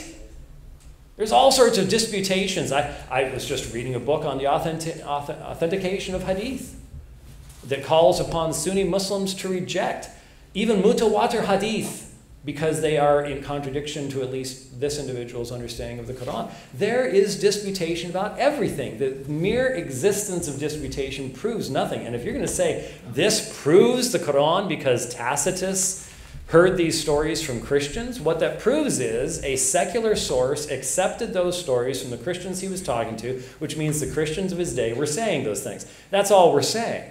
To try to tie that in to the words of Surah 4 157, I think is very dangerous for you.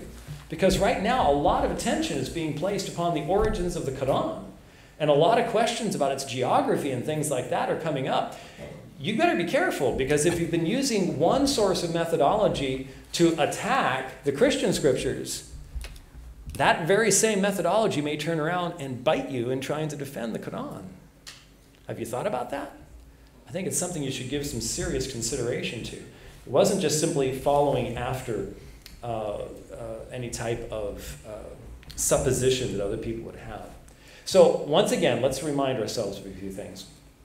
Every source that we have, every source that we have for 100 years says the same thing. So, I, I, didn't give me any information, any documentary information about who these Christians were that were saying other things. Well, Ignatius mentions the Docetics. Okay, Docetics weren't Christians. Docetics, they're not, they, they can't even enter into our conversation because Docetics deny what you and I, as Muslims and Christians, believe. Isn't the most fundamental thing God created the heavens and the earth? We have a creator. Isn't that part of the. They deny that the creator is a good being. That's fundamentally, they're outside the realm. You're, you're not quoting them as your source, are you? I certainly hope not. So, what documented sources do you have? You don't. What you have is sort of a Jewish approach that says, well, there's a different way of interpreting prophecy. We can limit prophecy to just the words of the prophecy itself, and it can't have any greater fulfillment, and so it has to be limited. The problem is that results in an inability on your part to have anything that's a prophecy about Jesus as the Messiah, who he was, and yet the Quran assumes all of those things. It just creates tremendous havoc within your own system. We cannot use arguments against someone else's system that creates havoc within our own. That that is a demonstration. Well, a long time ago, I, I, mentioned it, and I've mentioned it about every debate ever since then. Inconsistency is a sign of a failed argument. If you're using argumentation against others that decimates your own position, you have a problem. So, what do we have? We have Jesus, who you believe as a Muslim is a prophet. And we have him prophesying of his own crucifixion and resurrection. You simply have to reject those words while at the same time accepting those words for all your other arguments. So you have to accept what allegedly Jesus says about, well, what the gospel writers say about Simon the Cyrene, and then turn around and reject what's a few verses later when, for example, at Jesus' trial, uh, he identifies himself as the Son of Man and identifies himself basically as the one who is worshiped uh, back in Daniel chapter 7. How, how is that consistent? You're not being consistent. When you're not being consistent, you cannot make truthful claims. And that's the problem this evening. I asked all my Muslim friends here this evening what if those, all those prophecies were right? What if all that documentation going back to the first century is right? All that stuff that's smack dab in the middle of the history, right there in the middle of Pilate and Herod and names, names, and everything else. What if it's right? What if all Surah 4 157 was saying is it wasn't the Jews that killed Jesus, it was the Romans? You can't interpret it that way. What if that's the case? What are you going to do then with Jesus' own words about why he gave himself upon that cross? For the Christians in this room, if you have conversations with us, we're going to talk to you about what that self giving of Christ means to us every single day. How here, 2,000 years later, in a completely different land, a completely different language, we live in light of what he did and what he accomplished. And we live in light of an empty tomb. There's nobody in there. Not because he was taken up. There's a completely different understanding of Rapha, who I think that we understood in Surah 418. But not because he was taken up before he was crucified, but he has defeated death. And because he defeated death, I no longer have to fear it myself. That's the message that we have. Think about it. Thank you for listening.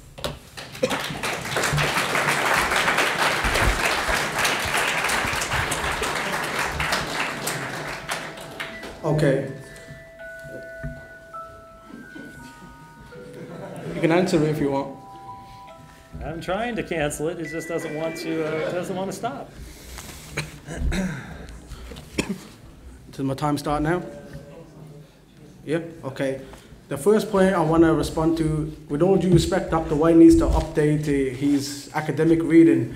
The whole Quran copying from Gnostics has been debunked regarding the clay birds, as there's new information from scholars like Andries van Aarde in his um, paper Ebionite Tendencies in the Jesus Tradition, the infancy Gospel of Thomas uh, interpreted from the perspective of ethnic identity. He actually mentions that it's only in one manuscript where it's got Gnostic tendencies, and all the other manuscripts is from Jewish Christians.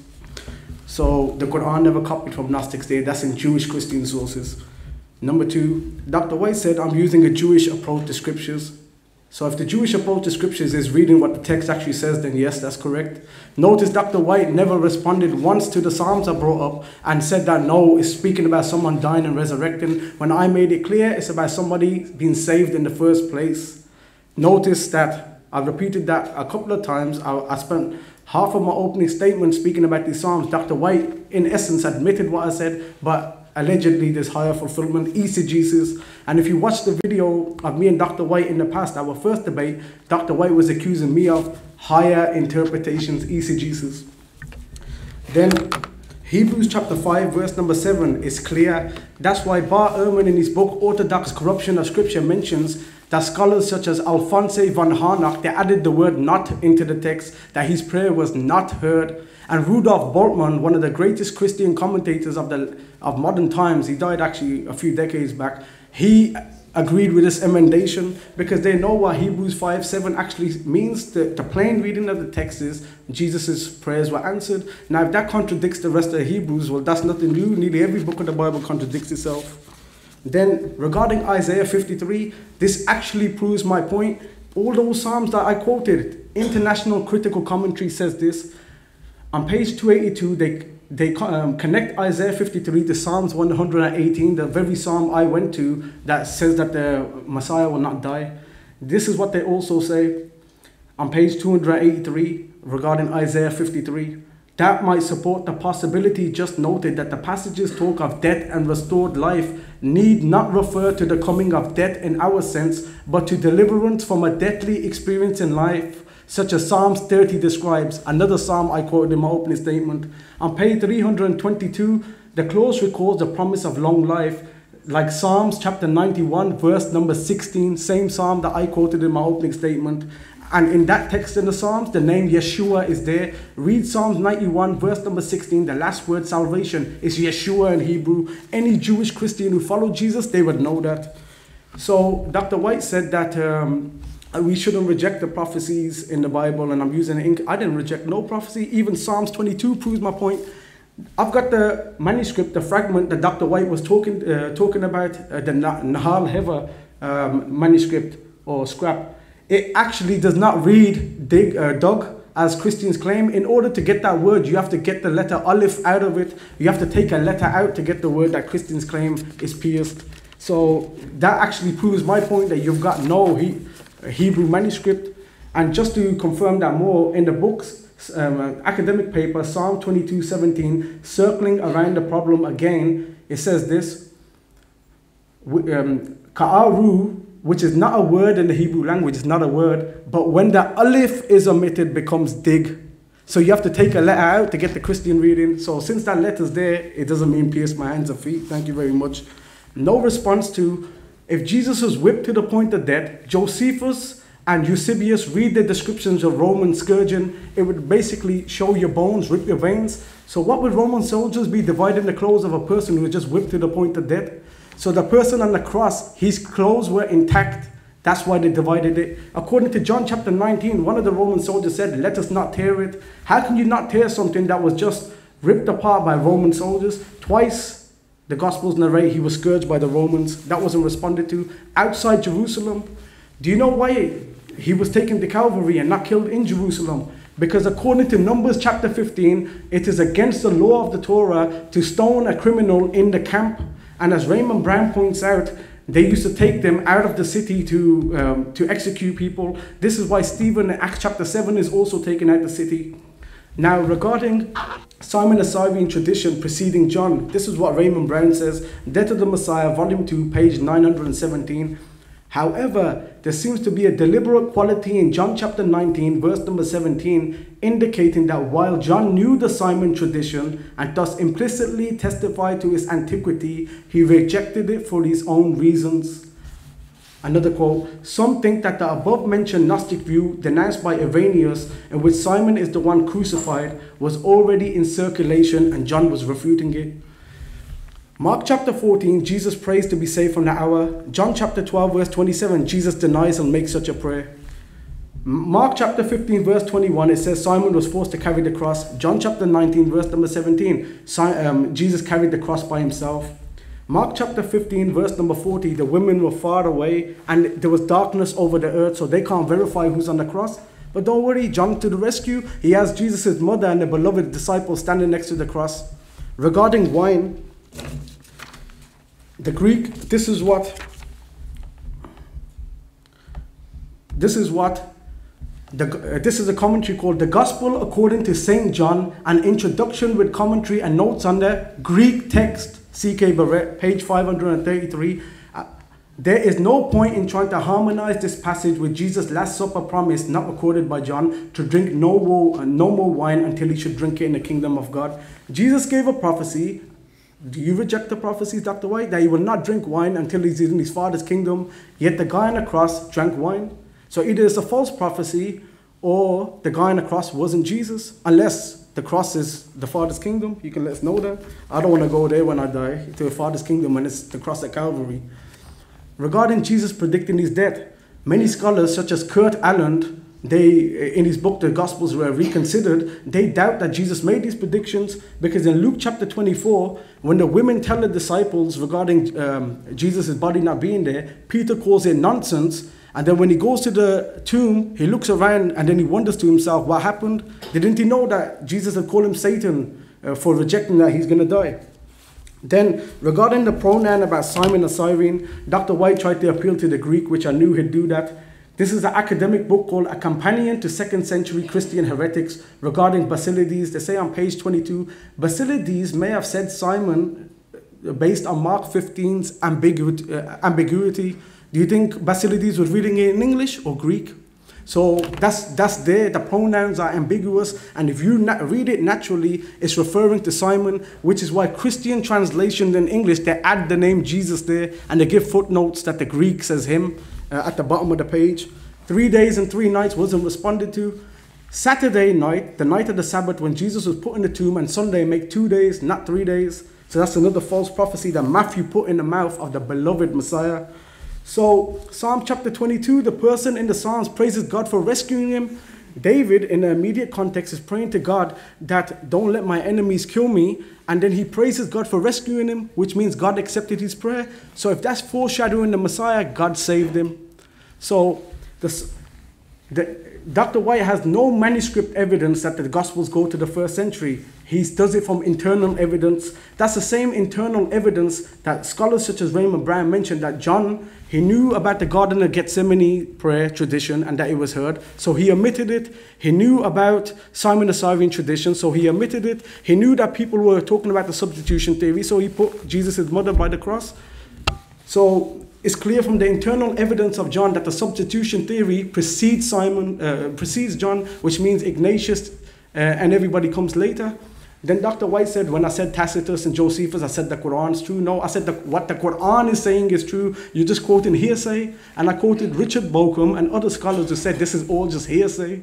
So you have no definite evidence. So to believe Jesus died on the cross outside Jerusalem, which Dr. White never eh, responded to, would to be he's a false prophet because in Luke 22 he said he cannot die outside Jerusalem.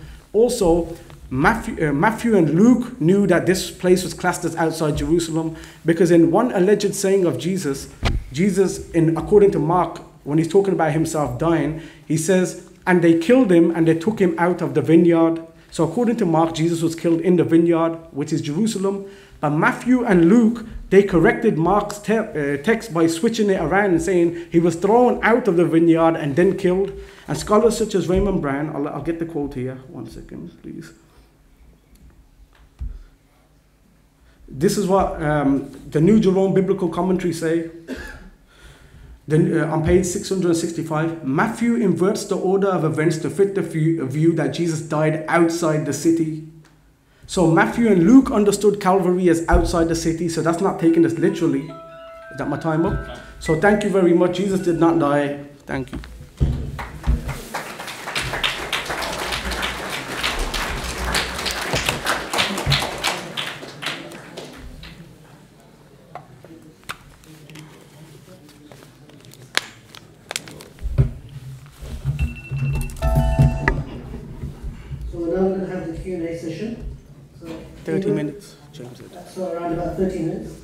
Anybody wants to ask a question, please come to the front.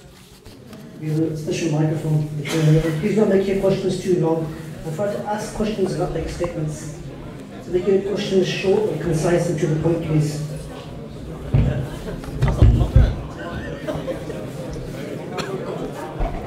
Use that mic as well.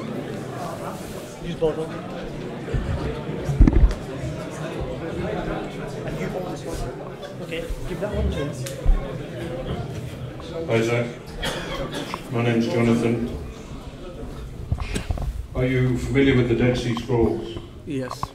Are you aware of scroll 4Q Samuel A, which is a Hebrew manuscript, the oldest Hebrew manuscript that we have, dating to about 200 BC, that says, They pierced my hands and my feet. So to say that there is no Hebrew manuscript extant at the time of our Lord Jesus is to be in error. Thank you.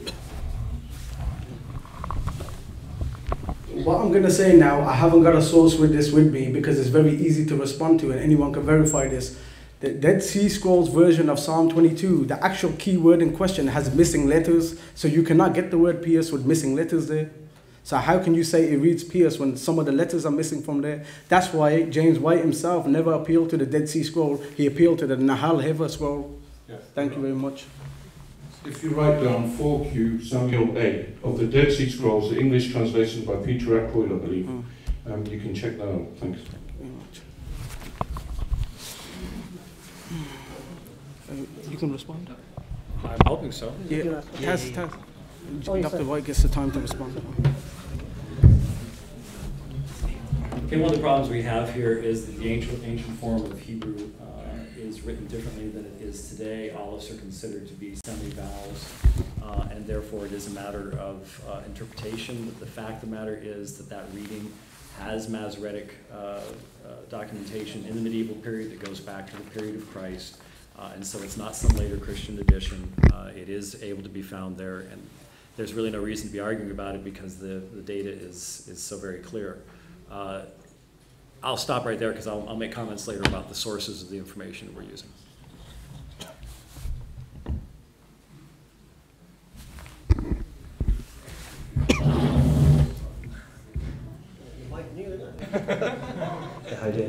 Yeah, um, I just want to elaborate on the when Jesus was asked for the signs of wonders, and he said nothing but the sign of Jonah. And uh, Zacchaeus spoke to you with regard to three days and three nights, and you kind of said, "Oh, part of the day of Friday, part of the day of Saturday, and that's three days." Um, I know Zacchaeus pushed on that, saying, for example, he wasn't put in the earth until a Saturday. But what I want to understand is the three even, three nights. Where are the three nights? If, if he was putting on Friday, and so Friday night, Saturday night, uh, there's no Sunday night because it was Sunday morning when he was um, gone.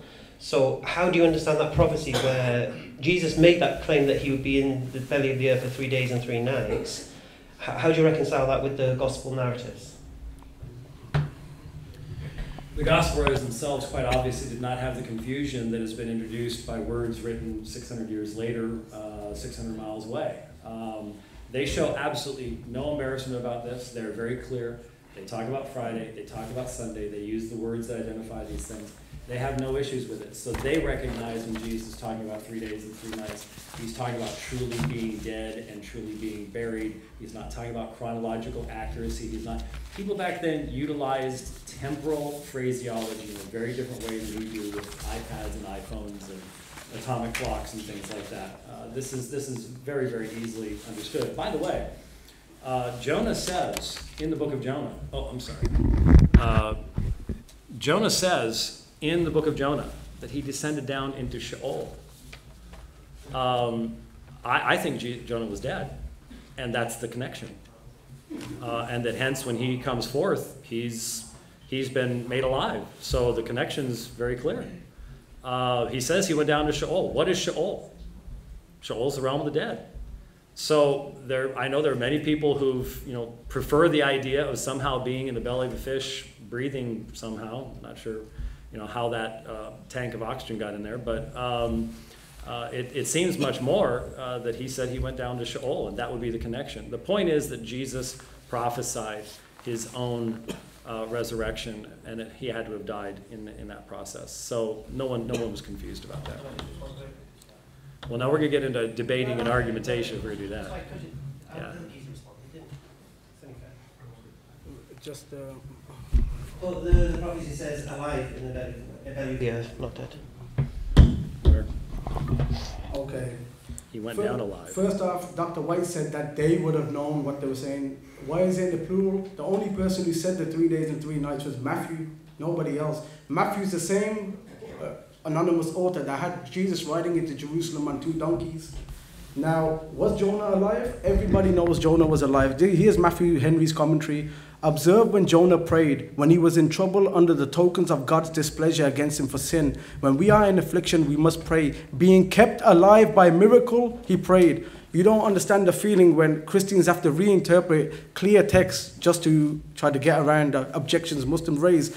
David used the same language as Jonah and the Psalms that I quoted, because in Hebrew language, coming close to dying and surviving, as my opening statement made clear, like Isaac, is a form of metaphorical death and resurrection. Even Prophet Muhammad, on peace, when he used to wake up, he used to say, Praise Allah for raising me alive after I died.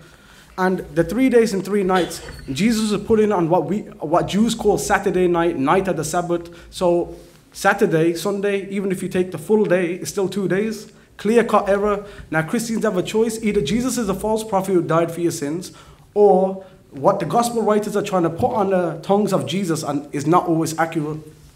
And regarding Psalms chapter 20, uh, 22, my question still remains if this text read, they pierced my hands and feet, all these other proof texts that the New Testament quotes, and the clearest one, Matthew looked at this and said, You know, this is the clearest text I got, but I don't feel like this is important enough for me to write in the New Testament to prove to Jews that the, uh, Jesus must be crucified. That does not make sense at all. The only reason Matthew didn't quote this is because the text didn't exist in the form that the Christians forged it. It does not say pierce, as I proved. In order to get the word dog, they have to take a letter out the word, and the, the very manuscript that Dr. White alluded to has the word, uh, the letter aleph in it, which means it's supposed to Jewish understanding of ka'ari. It's only that the yod got elongated into a vav, but the word still the same word. Otherwise, ka'aru doesn't mean nothing in Hebrew.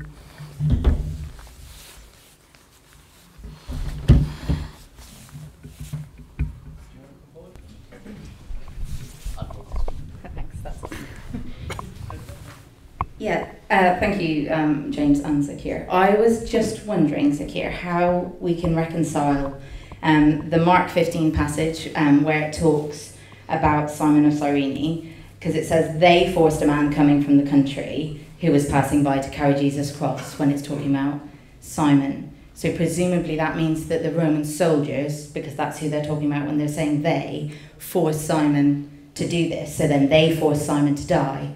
So the Roman soldiers act in contradiction to Pilate because there's no kind of doubt about who it is right there. But in Surah 4157, it seems that it is made to appear to them that it is Jesus who died. And so both things, it seems, cannot be true. And so, yeah, I was wondering how you reconcile those.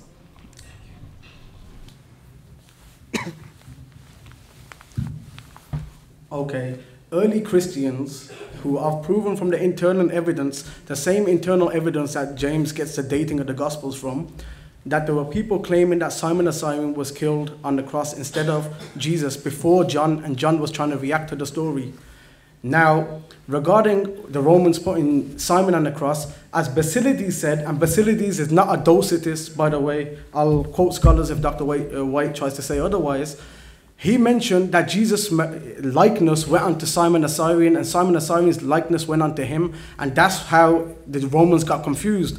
And even um, church fathers such as Tertullian, they used to believe that one of the miracles of Jesus is that he could change form, and that they got that from the Gospels itself. Many on many occasions, the Jews picked up stones to stone Jesus. Do you think they were chasing him down the street, or miraculously God was protecting him with this miracle? Tertullian even believed Jesus changed form.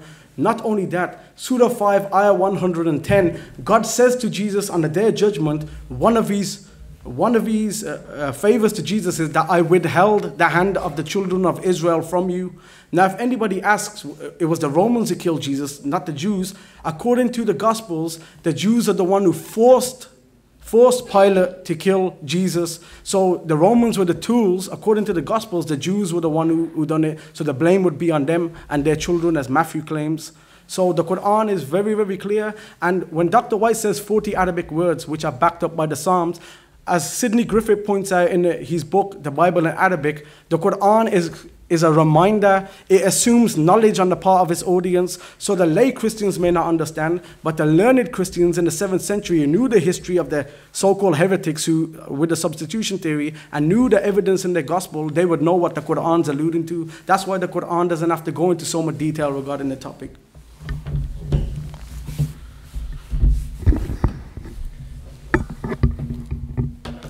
The Quran most definitely does assume the biblical narrative. And in that process, if you accept the radical argumentation, and it is radical, the people that Zakir is quoting are radical liberals. Uh, mythicists, people believed didn't, Jesus didn't exist. Quoted somebody from the University of Pretoria just a few moments ago, uh, part of the Jesus seminar. We're talking about these are people who vote about, about what Jesus said by dropping marbles in bags. Okay, this is this is this is just for me as a Christian. It's clear evidence that I could use the wildest Orientalists, and you would have to accept every word that I say because you're using the wildest people on the left fringe to come up with your arguments tonight. And I, I hope that'll end someday. I, I'm looking forward to the day when the conversation we have about this will be with Muslims using believing sources that are consistent with their own defenses of the Quran, uh, rather than using uh, Dr. Price, who's a nice guy, but he's so far out there that, that even the citation of him would be like think of the, the wildest critic of the Quran that I could possibly quote as far out there as possible. If I was basing all my stuff upon that, that'd be the same type of thing that we're dealing with here. And so when I look and when I read Mark chapter 15, there is a phrase here, and I'll just give it to you very quickly. Hina aretan staran autu.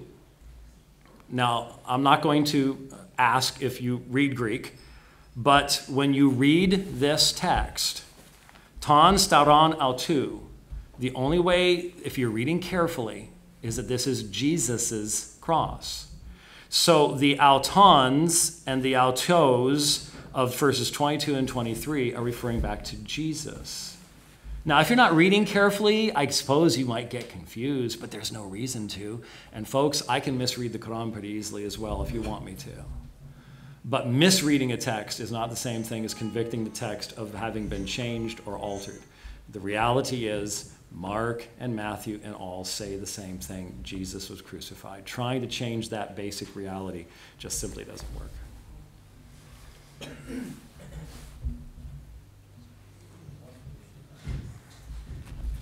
I even have the large print. Uh, Could be yes. 10 feet away. Sorry. According to um, uh, Hebrews, Attacked, attacked by the guy down there. Well, according to Hebrews chapter 10, verse number 10 to 18, we find very clearly Paul. I'm sorry, chapter 10, what? 10, Hebrews chapter 10, verse number 10 to 18. Oh, 10 through 18. 10 to 18, where Paul is saying that uh, normal. I don't think Paul wrote it. Well, okay, well, well, the Bible, he, well, Hebrews is telling us anyway Right. that, uh, well, if he didn't write it, who wrote it then? My, you want my quick theory? Please. Just really, really fast. Before I go on to my main question. I think it's a sermon Okay. that Paul preached in Hebrew Okay. that Luke wrote down in Greek Okay. because it's Luke's gr- grammar and vocabulary. Okay. Well, according to Luke, in Hebrews chapter 10, verse number 10 to 18, he says, No more sin offering is required because Jesus was the ultimate sacrifice. But when we find in, uh, in Acts, when Paul went to Jerusalem, James, who was the brother of Jesus, obviously, if, if Jesus came to die for their sin, then they know that there would be no more sin sacrifice needed. But James is actually telling Paul to go and sacrifice and sacrifice animals because there were four men who were under a Nazarite vow.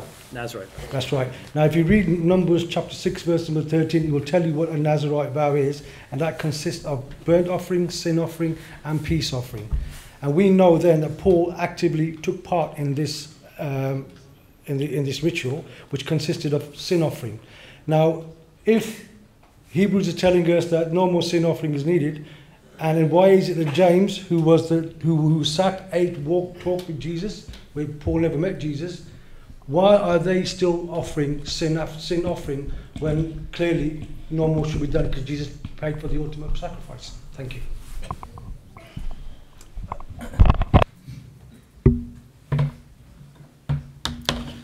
The Nazarite vow is the issue here, and obviously in Jerusalem, uh, the Jewish Christians, especially, we're told in the book of Acts, there were many who were former priests, continued to do many of the things that identified them as the Jewish people. They did not, uh, the separation that took place between the synagogue and the church, um, while inevitable, has in many ways been tragic. It led to many of the acts of anti Semitism during the medieval, medieval period. And um, how it happened, it, it may have had to have happened over time, but how it happened is rather tragic. Um, but wait, what you do see in the book of Acts is a transition period, even in Peter.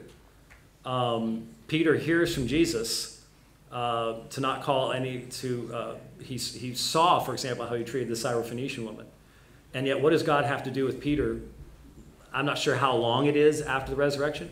He has to give him a vision three times, slap him upside the head before he finally gets the idea ah, I shouldn't call what God has called unclean clean. Uh, it- it- okay, so let's say it was a full decade.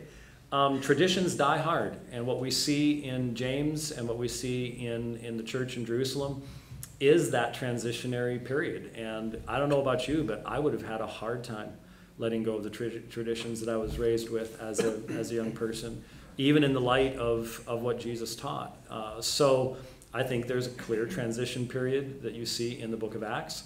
And by the end of the book of Acts, what you have is the, nom- the norma- normative functioning of the church. Whereas in the beginning, you have, well, I haven't seen anybody struck dead in a deacon's meeting recently. Um, so Acts chapter 5 uh, and Ananias and Sapphira. Um, we could use it, but uh, it, it, hasn't happened recently. So I see it as a transitionary issue. Even though it's 13 years after? Oh, yeah. I think it take, well, 30 years? 30 years after. Uh, I had, not, I'm not sure. I'm not sure of the chronology on, on exactly when uh, when that would be, but it's uh, there in, very clearly in Jerusalem. There continued to be before the destruction of the temple those people that stuck very closely to their Jewish identity, and I would see the Nazarite vow as a part of that that element of it. Did they reinterpret the offerings in the light of what Jesus did? We're not told. We're not told.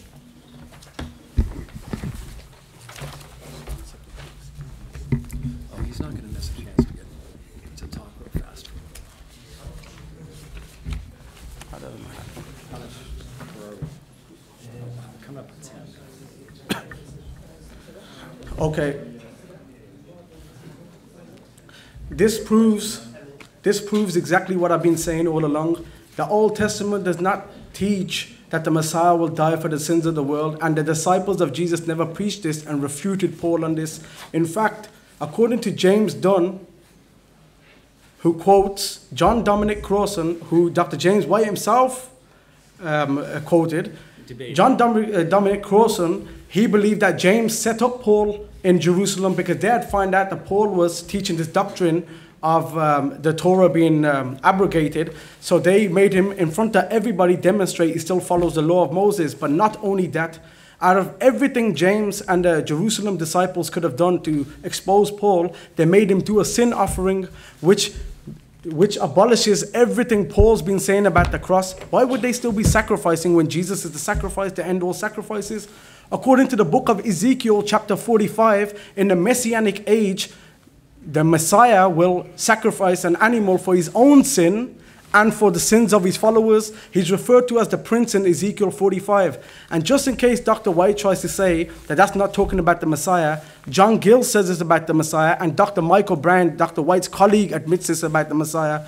So normally Christians, they quote from the Quran, look, Muhammad has to ask for forgiveness for his own sins. Look, Jesus is sinless. But then we find in Mark chapter 1, Jesus is baptized for the forgiveness of sins, and Matthew omits it. And then in the messianic age, he will still be doing animal sacrifices. How does that go with the cross? Regarding Paul's action in Acts 21, which, which proves what I said, that Paul says, To a Jew I act like a Jew, and to one not under the law, which means pagans, I act like one not under the law, I act like a pagan, which is why when the disciples said that Jesus died and resurrected in an Israelite sense, he turned it into a mystery religion sense. This is what the Interpreter's Bible says uh, about, about Acts. Um, here, the author of Acts makes Paul guilty of an act of insincerity to which he would never in reality have condescended. In reply, it must be said that if Acts gives a true picture, then we must admit a certain disingenuousness in Paul's conduct. It says further, Thus, it is not the performance of the rite in itself that causes difficulty, it was rather the fact that it was done with an ulter- ulterior motive to suggest something that was not strictly true, uh, true. Could Paul do this without hypocrisy? Proves my opening statement. The disciples were Muslims who believed the Psalms, and Paul came and took what they said, distorted it in, in, into a Gentile pagan culture. And what does the Quran say in Surah 3, Ayah 78? It accuses the people of the book of distorting with their tongues and interpretations. Paul's a perfect example of this.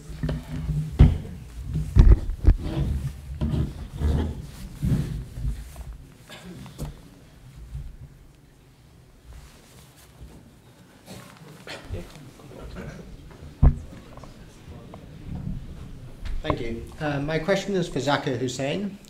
Um, if Jesus was crucified, what evidence would you expect to see from the first century that we don't have?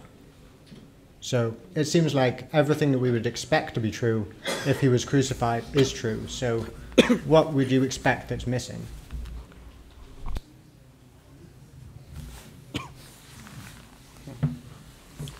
The first thing I want to clear up before I answer this question that with all due respect, Dr. White's methodology is flawed because he doesn't realize that him and Robert Price, for example, are two extremes. Robert Price finds the evidence for Jesus so flimsy that he denies the existence of Jesus, whereas and he contradicts Islam. So why can't I quote him? Or why should I agree with anything he says? But then Dr. White is at the other end of the spectrum that everything said about Jesus in the first century in the Gospels is all historical. That also contradicts Islam. So if I should reject everything Robert Price says, then I should reject everything you say. Why not be in the middle ground and weigh each evidence? Then, regarding what I would need uh, to believe Jesus was crucified, number one, the Psalms would have to make it clear, the uh, Hebrew Bible would have to make it clear that the Messiah would die. The New Testament should have a consistent narrative, and there shouldn't be no early Christians denying the crucifixion. And of course, the Quran, which is the Word of God, proven beyond doubt, should not deny it. Also, Dr. White says, but I can quote liberals and whoever and launch arguments against Islam. But with all due respect, Dr. White, the difference between us is if you do launch the arguments, it'll actually get refuted, unlike half the things I brought up tonight, with all due respect. I'm a little surprised by what I just heard because the answer to the question was, well, I would expect that the Psalms would teach us. Well, every Psalm that has been brought up, once you recognize that it is inappropriate to say, well, you can't go beyond what the psalmist says. Once we re- realize Jesus did that, once we realize all the New Testament writers, it's a convenient thing to say, we just, blame, we just blame Paul, we just blame Paul. The Quran never does.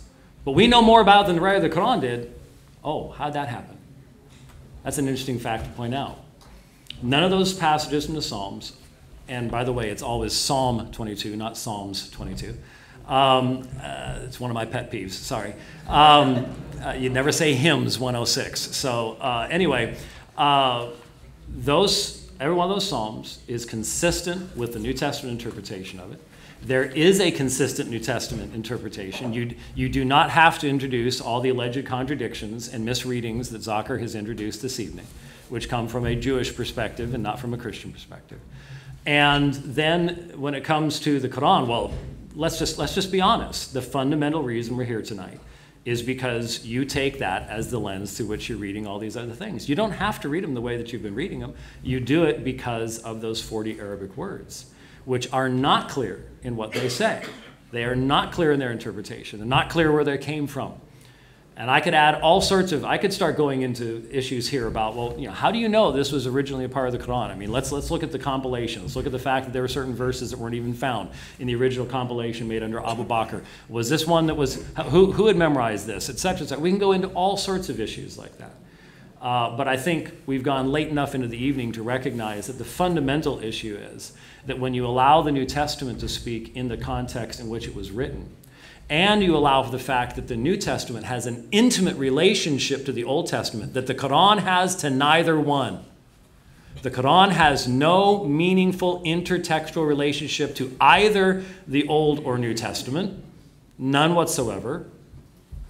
Once you recognize that, uh, then the question really becomes well, what's the ultimate sources of authority we're using here? And you can come up with all sorts of wild eyed liberals that, that, will, will point out uh, any contradiction, any type of religious text you can find. But you will not find consistent people believe that God has spoken who will be following each one of these types of arguments. That's, that's the problem this evening. So we have three minutes. I think we've done half an hour, haven't we? What is it? It's 10 It's 10.05. Okay. Okay. Uh, six minutes left. Yes, uh, uh, shirt's- thank you. your shirt's glowing. Yes, uh, uh, James, uh, do you think uh, what about uh, deliberate excluded, excluding? Jesus has excluded in the church hymns in the prayer to be a messenger of God, according to uh, John 17:3. He's definitely messenger. He couldn't say no, no. If you say no, that means you reject John 17 verse 3. haven't been entitled to be messenger of God according to Quran, according also his real position uh, at this time, impossible to be crucified, but to be honored and to have more glory. As a messenger, cannot be crucified, can be killed, but as a prophet, can be killed like Jeremiah, like John the Baptist, like Zechariah. But as a messenger, impossible. So Moses never been actually killed by the Pharaonites. Abraham wasn't killed by Babylonians. Elijah was about to be killed by the Phoenician, but also been rose to heaven as Jesus rose, because he is a messenger. And the Quran, in fact, uh, have answered all question of the Christian side. But sadly, Paul have blocked uh, the peaceful transfer of Jewish faith into Christian faith, lastly to, to Muslim faith. And this Paul problem, not Jesus problem. Thank you.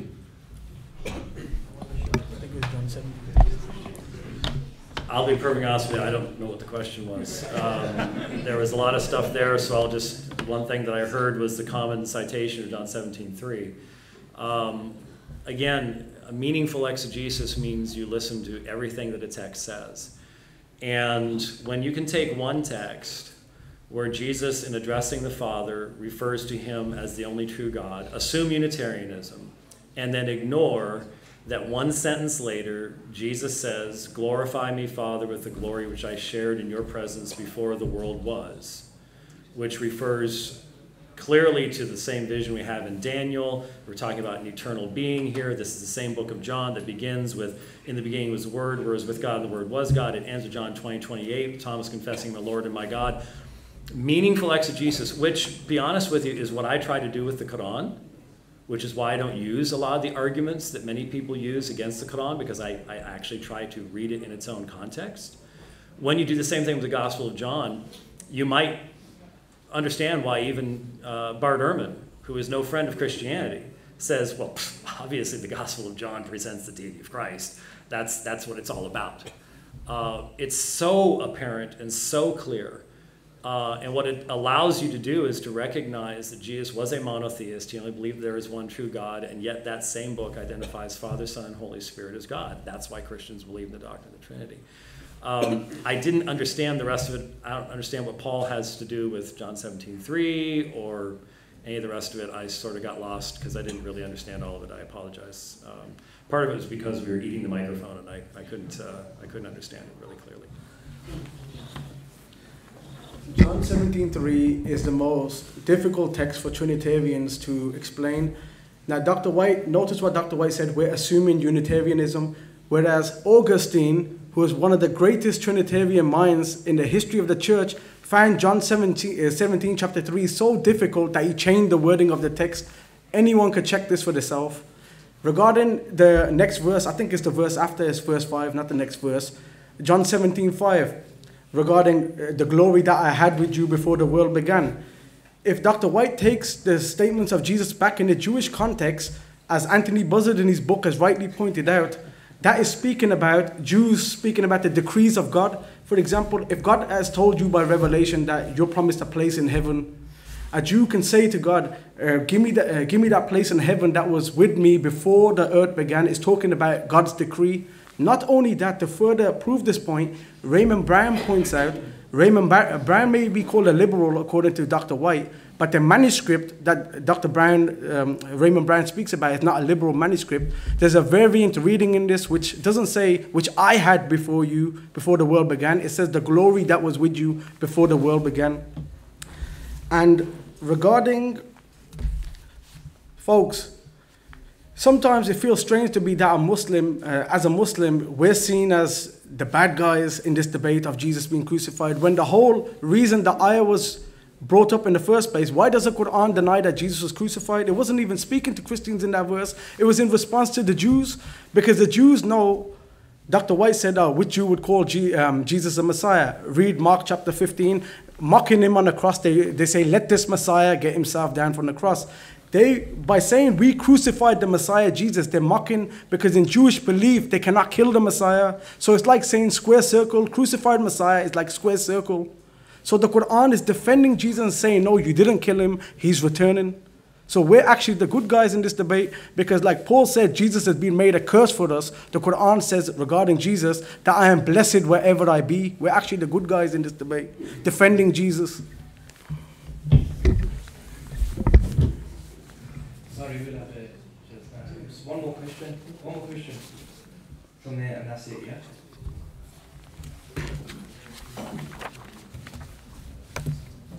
Okay, I had two questions, but I'll limit it to just the one. Um, my question is that, just in framing my question, I'll say that um, it's interesting that you talk that the Quran was replying to the Jews in stating that Jesus wasn't crucified. Um, that would also accord with what Josephus said, which was that the Messiah was crucified. So we have Jewish history, also through Tacitus, Tacitus pagan history, um, as well as Christian history. But all of those you've addressed. Uh, the one which I'm not sure if you addressed it was uh, modern secular historians. Bart Ehrman was the most, uh, I think, believe the most common author that you quoted. And despite him being um, a, great skeptic of the Bible, of Christianity, he believes the books contradict itself just as you do. He states that the one of the most certain facts of history not just religious history, but history was Jesus' crucifixion. This would also accord, accord with what John Dominic Crossan said, also uh, um, a skeptic, and even what James Dunn said, who you quoted yourself, he said that there's two facts which are certain in Jesus' life, and one of those most certain is Jesus' crucifixion. So, without reference to um, interpretive prophecies from Psalms, which came hundreds and hundreds of years before Jesus, or the Quran, which came hundreds of years after Jesus, on a historical basis, um, what historical proof is there that Jesus wasn't crucified, but it was someone else, Simon of Cyrene, for instance?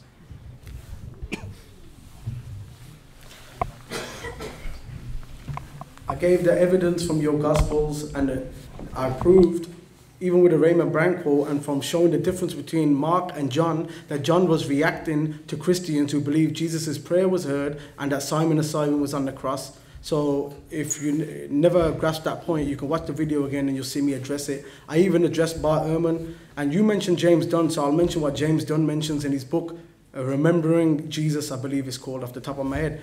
He speaks about the limitations of the historical critical method, and he himself mentions that they cannot, with that method, verify miracles. And if there's a choice between verifying a miracle or going with something that we can see naturalistically, they will always go with a naturalistic option. So if there's two choices, Jesus was saved by God or Jesus died, a historian cannot verify the miracle which is why they will say that the crucifixion is a fact, but on the same pre- uh, premise that they will deny that Jesus died on a, uh, was saved from the cross through a miracle, is the same reason they would reject the resurrection, because Bart Ehrman even says they cannot verify miracles.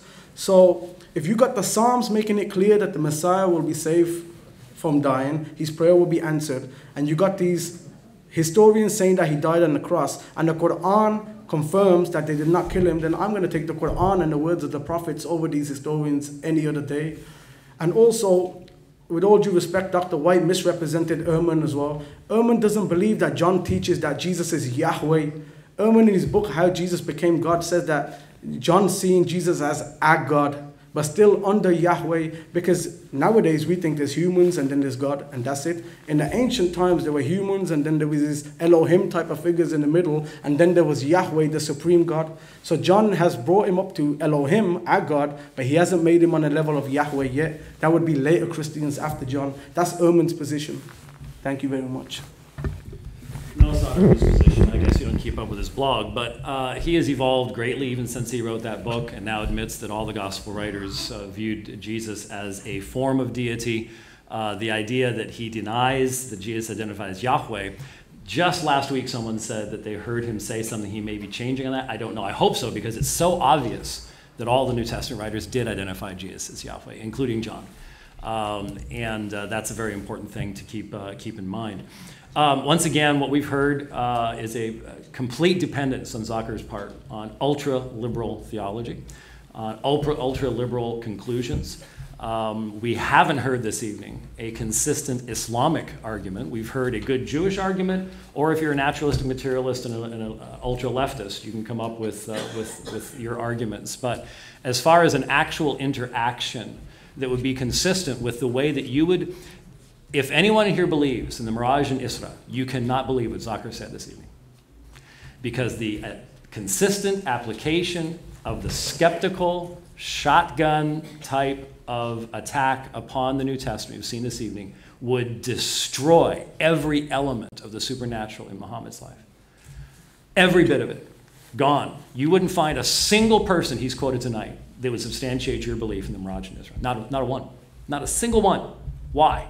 Because of the methodology they use, not because of the facts. Not because of the facts. So I continue looking for that opportunity of, you know, it's interesting. I asked a, a Muslim friend of mine once, a very uh, erudite, learned young man, if he'd ever, quote, ever debate the subject. And he said, no, I've never debated you on it because Surah 4157 says that it was made to appear to them, therefore all the historical evidence would substantiate that it was made to appear to them. So why should we debate it? And if you take that position, that's a position of faith. If you take the position that says, well, all the history is going to be wrong, that's, that's one thing. To turn around and try to use battery acid on the text of the Bible to substantiate the text of the Quran at this one point without recognizing that you've had to dip into a barrel that will destroy the Quran as well is not a wise direction to go. Think about it. I, I think it's very, very important. Closing statements? Three minutes, right? And then we let you out of here.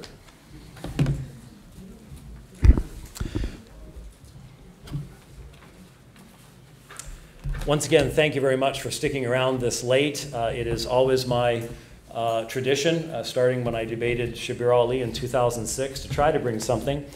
And I'm going to tell you something, Zakir. I'm going to be really glad to give this to you because I'm sick and tired trying to drag it upstairs because it's a big honking book, um, which means it's also a big expensive book. But um, this is a book called From Heaven He Came and Sought Her. It's on the subject of definite atonement. Not sure uh, what, given all the reading you do, you might find it useful. Uh, someday I may see with dozens and dozens of photocopies from that uh, that you're thumbing through very quickly. Um, there's things called computers, dude. Uh, they're really great. So, uh, secondly, despite how sharp our encounter has been here this evening, I want you to understand that when I leave this place, I'm going to pray for this young man. And I hope he doesn't mind that. And I hope you don't mind that. We have disagreed. I disagree. I, I, disagree so much with Zakir's research methods and everything else. But I pray for him. And I want you to realize I pray for you because the reality is I experience the resurrected Christ each and every day. That doesn't make me right on the history. Uh, but I can tell you that what we believe, what we believe goes back to the earliest sources. And I just want to ask you once again what if all those prophecies, what if Isaiah 53 is about Jesus? What if they, a single manuscript here, we just heard about a, a, single textual variant, I couldn't even find it in Nestle-Aland. A single text. What if, what if we actually do know what the New Testament text said, and what if it's all true?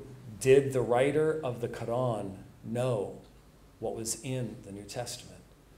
My answer to that is no, he did not.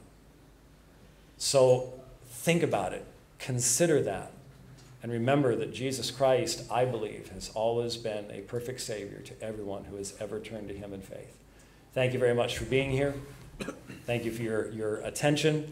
And thank you, Zakir, for being here this evening, even though I do not understand why the whole evening you've been wearing a jacket. Don't go. Thank you very much.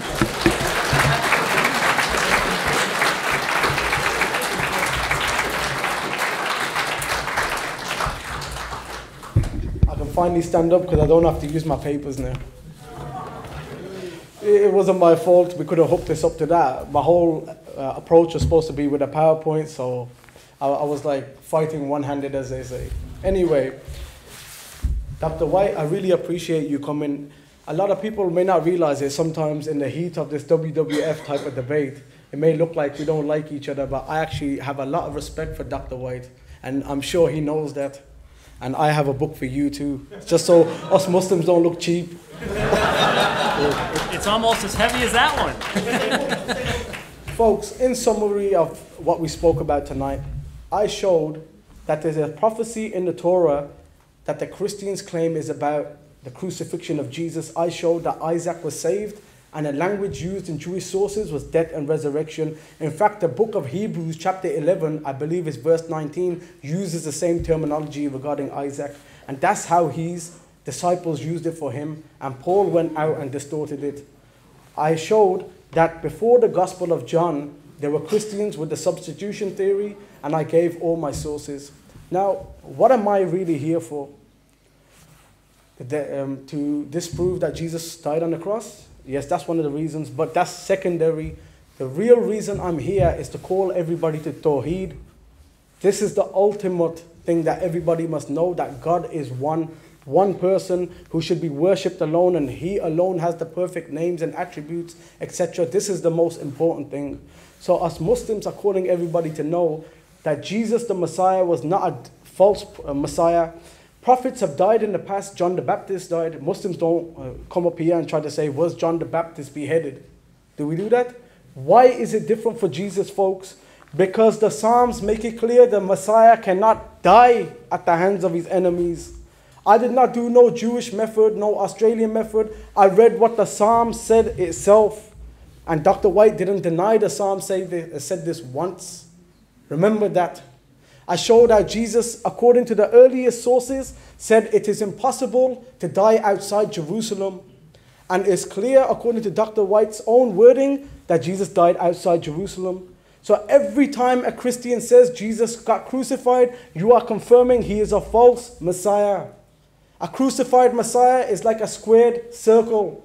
That's not what the prophecy said. So, Islam, which is the resurrection of Jewish Christianity, the Christianity of the disciples, as the New Jerome Biblical Commentary mentions in Ma- uh, Matthew chapter 5, we're doing the same thing that the disciples did. The s- disciples called up Paul for what he was teaching, and they died out. And the, with the coming of Prophet Muhammad, on whom be peace, their religion resurrected, and we're doing the same thing.